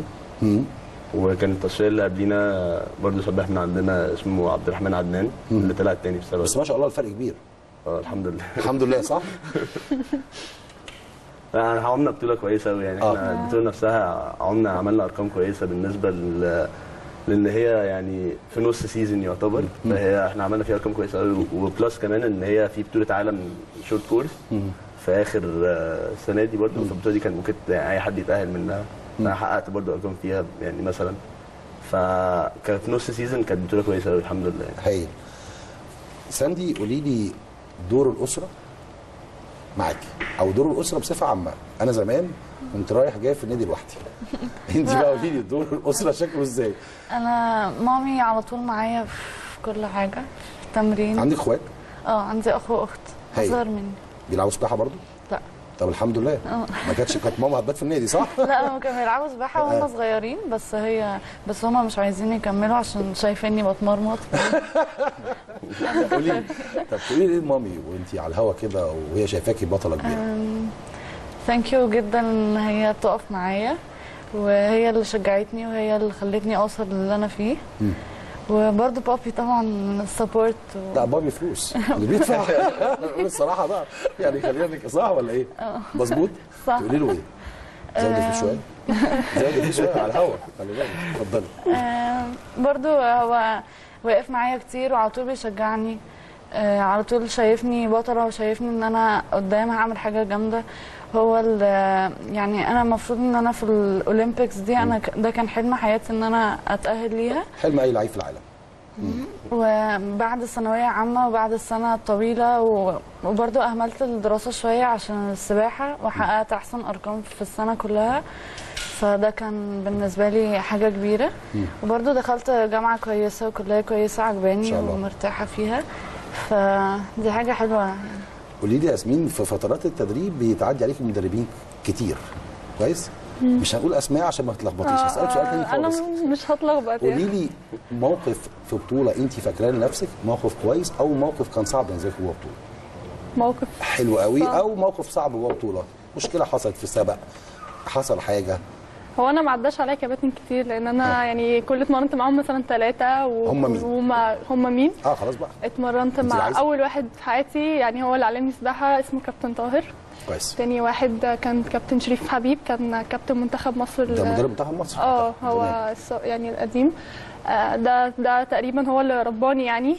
ده ال- تمام. آه وبعديها رحت الكابتن أشرف صلاح. كويس. آه كويس. جدا. يعني حاجة حلوة قوي. يعني تقريبا أحسن من الكباتن اللي جت النادي الأهلي. آه ومبسوطين معاه وحققنا إنجازات كتير. آه بس آه موقف حصل لي بقى مش مش مش ممكن افتكر حاجة حصلت لي حلوة أو وحشة يعني أنا الحمد لله بطولاتي ببقى ماشية كلها بتحصل مواقف كويسة. مم. يعني ممكن يحصل دروب بطولة بس يعني الحمد لله أجيب لك أنا موقف حالة من عمر عمر آه، في- مرحلة الاعداد أو في مكان الاعداد عايز أعرف مكان عايزين نعرف الناس الأول بعد إذنك إيه مكان الاعداد للسباح وبتعملوا إيه بتقعدوا تعملوا إيه بالظبط في مكان تمام، الاعداد هو أنت يعني قبل السنة مثلا بثلث ساعة بتروح على منطقة الاعداد دي بيتنادى اسم التصفية. كويس. آه بتخش انت والثمان سباحين اللي معاك بتقعدوا على كراسي تنادى على اسمك تسلم كارنيه الاتحاد عشان يعرفوا ان انت صاحب الكارنيه أو الشخصيه بتاعه النادي. آه بعدين تخش آه تفضل تقدم يعني كل شوية تصفيه بتنزل فبتتقدم بالكرسي لقدام بعد كده في الآخر تقعدوا إزاي بعد إذنك عايز بتقعدوا عرض ولا آه، تقعدوا. طول؟ نقعد صف جنب بعض. عرض. آه. كويس. بعد كده نتحرك كرسي لقدام كرسي لقدام آه بعد ما نخلص نوصل لقدام خالص بنقوم وبعد كده يدخلونا التصفيه الحكم قدامنا نمشي على الاشتراطات و... لا قول لي مفيش أي حاجة حصلت في, الإعداد ده قبل كده قدامك؟ موقف؟ أكيد. لا هو يعني هزار بقى ما بين. السباحين. وكلام. يعني بيخشوا زي بتقول أنا شفت بص أنا شفت فت... حتة الإعداد دي للعيبة الأولمبيين أو اللعيبه الكبار في العالم. تلاقي كل واحد حاطط سماعات. عايش حد بقى بيتكلم، في ملكوت مفيش. أنتوا هنا في مصر بت- بتتناقشوا مع عشان بعض. طبعا عشان يعني بطولة جمهورية غير بطولة عالم طبعا. ده في في أكتر ان أنت عارف الناس اللي معاك في ال...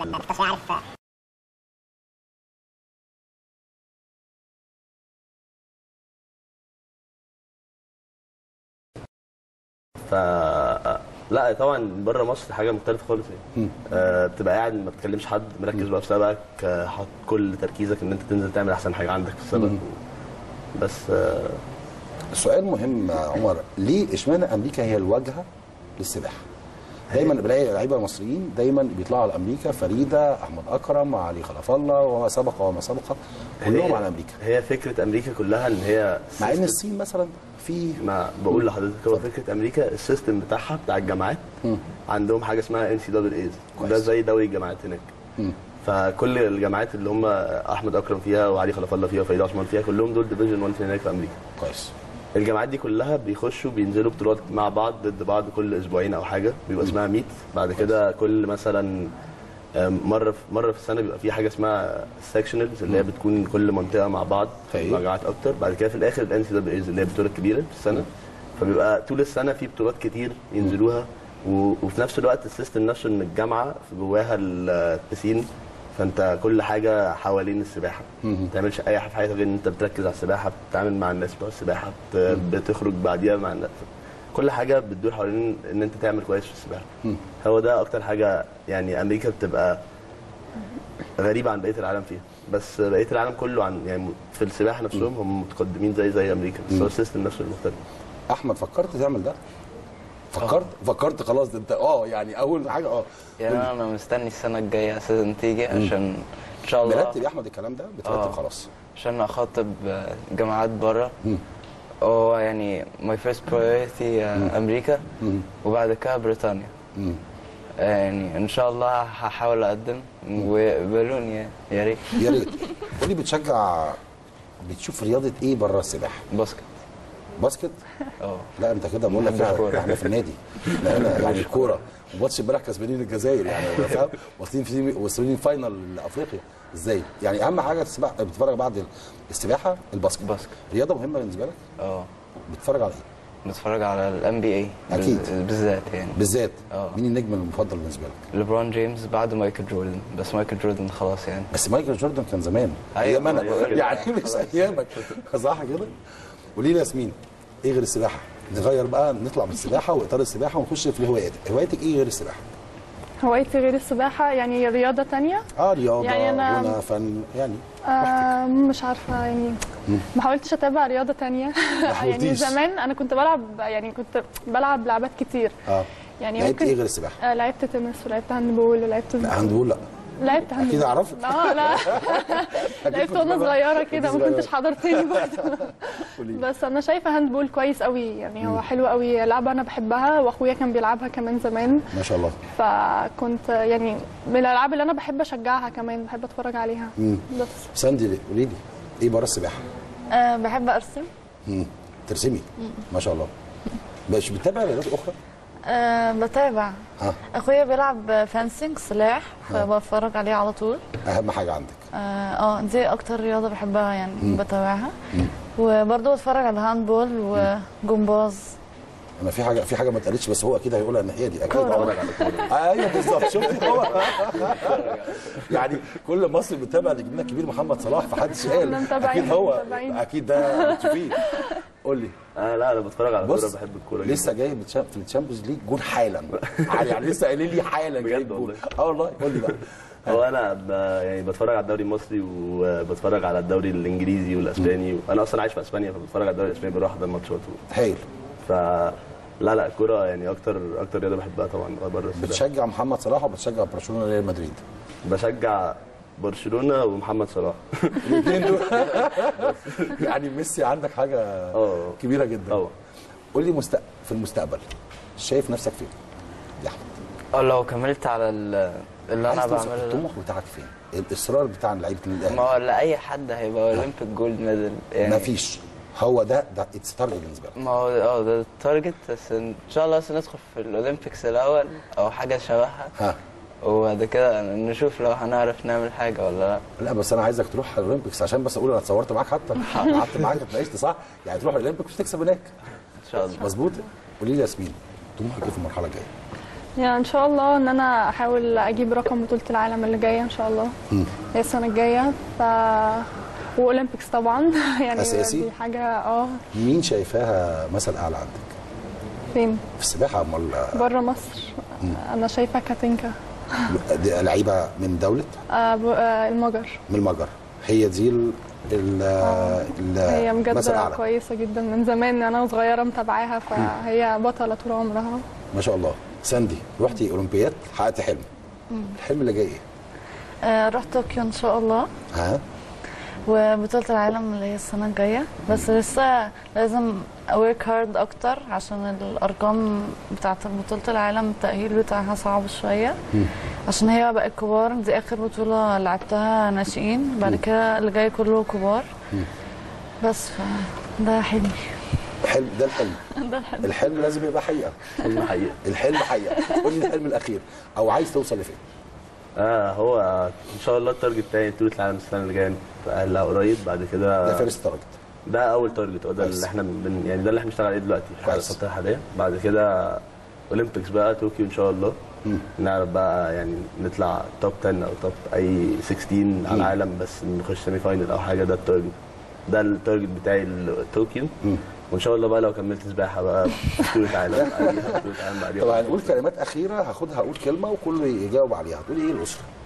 أنا بجد بشكرهم قوي. هم بجد بيتعبوا معايا جدا ماما بالذات. أكيد. يعني بجد. الأم أكيد.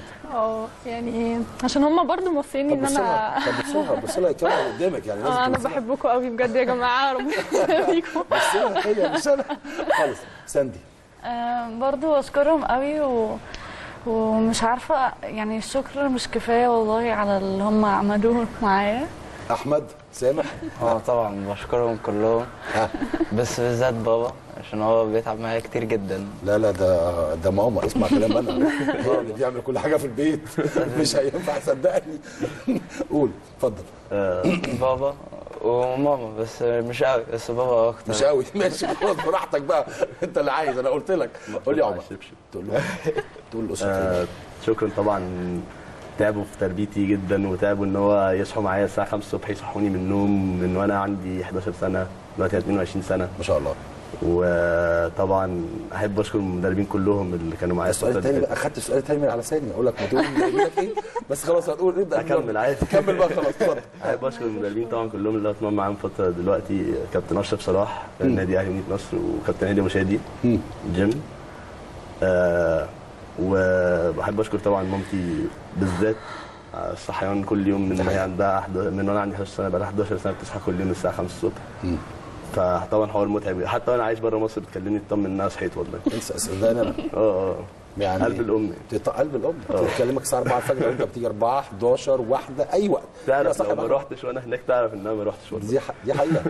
أحمد تقول لمدربينك إيه؟ شكرا جدا. أنا من غير كابتن بادي ده. كنتش هبقى أي حاجة. خالص. أنا بجد بكل مدربينك. آه. والجهاز الفني وخالد كابتن وائل عزت يعني أنا هوفر عليك وقت شوية. آه، أنا أنا جاي أنا جاي أنا جاي. جاي أهو. اتفضل. الجهاز عشان خلونا نطلع على البطولة دي كانت حلوة جدا. تمام. وكابتن بادي وكل المساعدين. تمام. وشكرا جدا يعني. أنت كنت منورنا. ساندي قولي لي. آه برضه بحب أشكر كابتن أشرف عشان تعب معايا قوي. وعلى طول بيشجعني. وبجد هو كابتن كويس قوي. وبرضه بحب أشكر كابتن مم. كابتن بتاع الفتنس بتاعي. وبس. وبس؟ الحمد لله. مدربينك آه، كابتن أشرف صلاح طبعا آه، أشكره جدا آه، وإن شاء الله نعمل حاجة كويسة. وأنا كنت عايزه اشكر آه، كابتن وائل عزت وكابتن وائل كفراوي وكباتن اللي كانوا معانا هناك وكابتن فاضل. آه، هم بجد تعبوا معانا هناك وكانوا محمد الكفراوي. إبراهيم الكفراوي إبراهيم الكفراوي أنا. أصلا دايما بتلخبط رئيس البعثة. وعضو مجلس اداره النادي الأهلي. اتفضل. آه هو هم بجد تعبوا معانا وكانوا كانوا بيعملوا كل حاجة عشان نرتاح يعني هناك وبس يعني وفروا لنا كل حاجة وإن السفرية تطلع زي دي دلوقتي مع النادي دي حاجة كويسة جدا. بس ربنا يسهل في اللي جاي إن شاء الله. طيب أنا اللي بشكركم جدا. كنتوا معايا النهارده. ألف مبروك على كل ميدالياتكم. أتمنى لكم في المرحلة اللي جاية بإذن الله نعمل حاجة كويسة للنادي الأهلي ونعمل حاجة كويسة لمصر. إن شاء الله. ويعني إن شاء الله يا أحمد بإذن الله في, الأولمبياد. إن شاء الله. ميدالية. مظبوط. شكرا. لكل جماهير النادي الأهلي لازم نشكرهم إنه كان النهارده كانوا متواجدين معانا نجوم كبار في لعبة السباحة حققوا أرقام كبيرة حققوا أرقام مختلفة. وإن شاء الله بإذن الله هنشوف منهم بطل لمصر في 2020 أو الأولمبياد اللي بعديها في فرنسا 20 2024 بإذن الله يحققوا لنا ميداليات ويرفعوا اسم مصر عالي ودايما اسم النادي الأهلي مرفوع. شكرا وإلى اللقاء.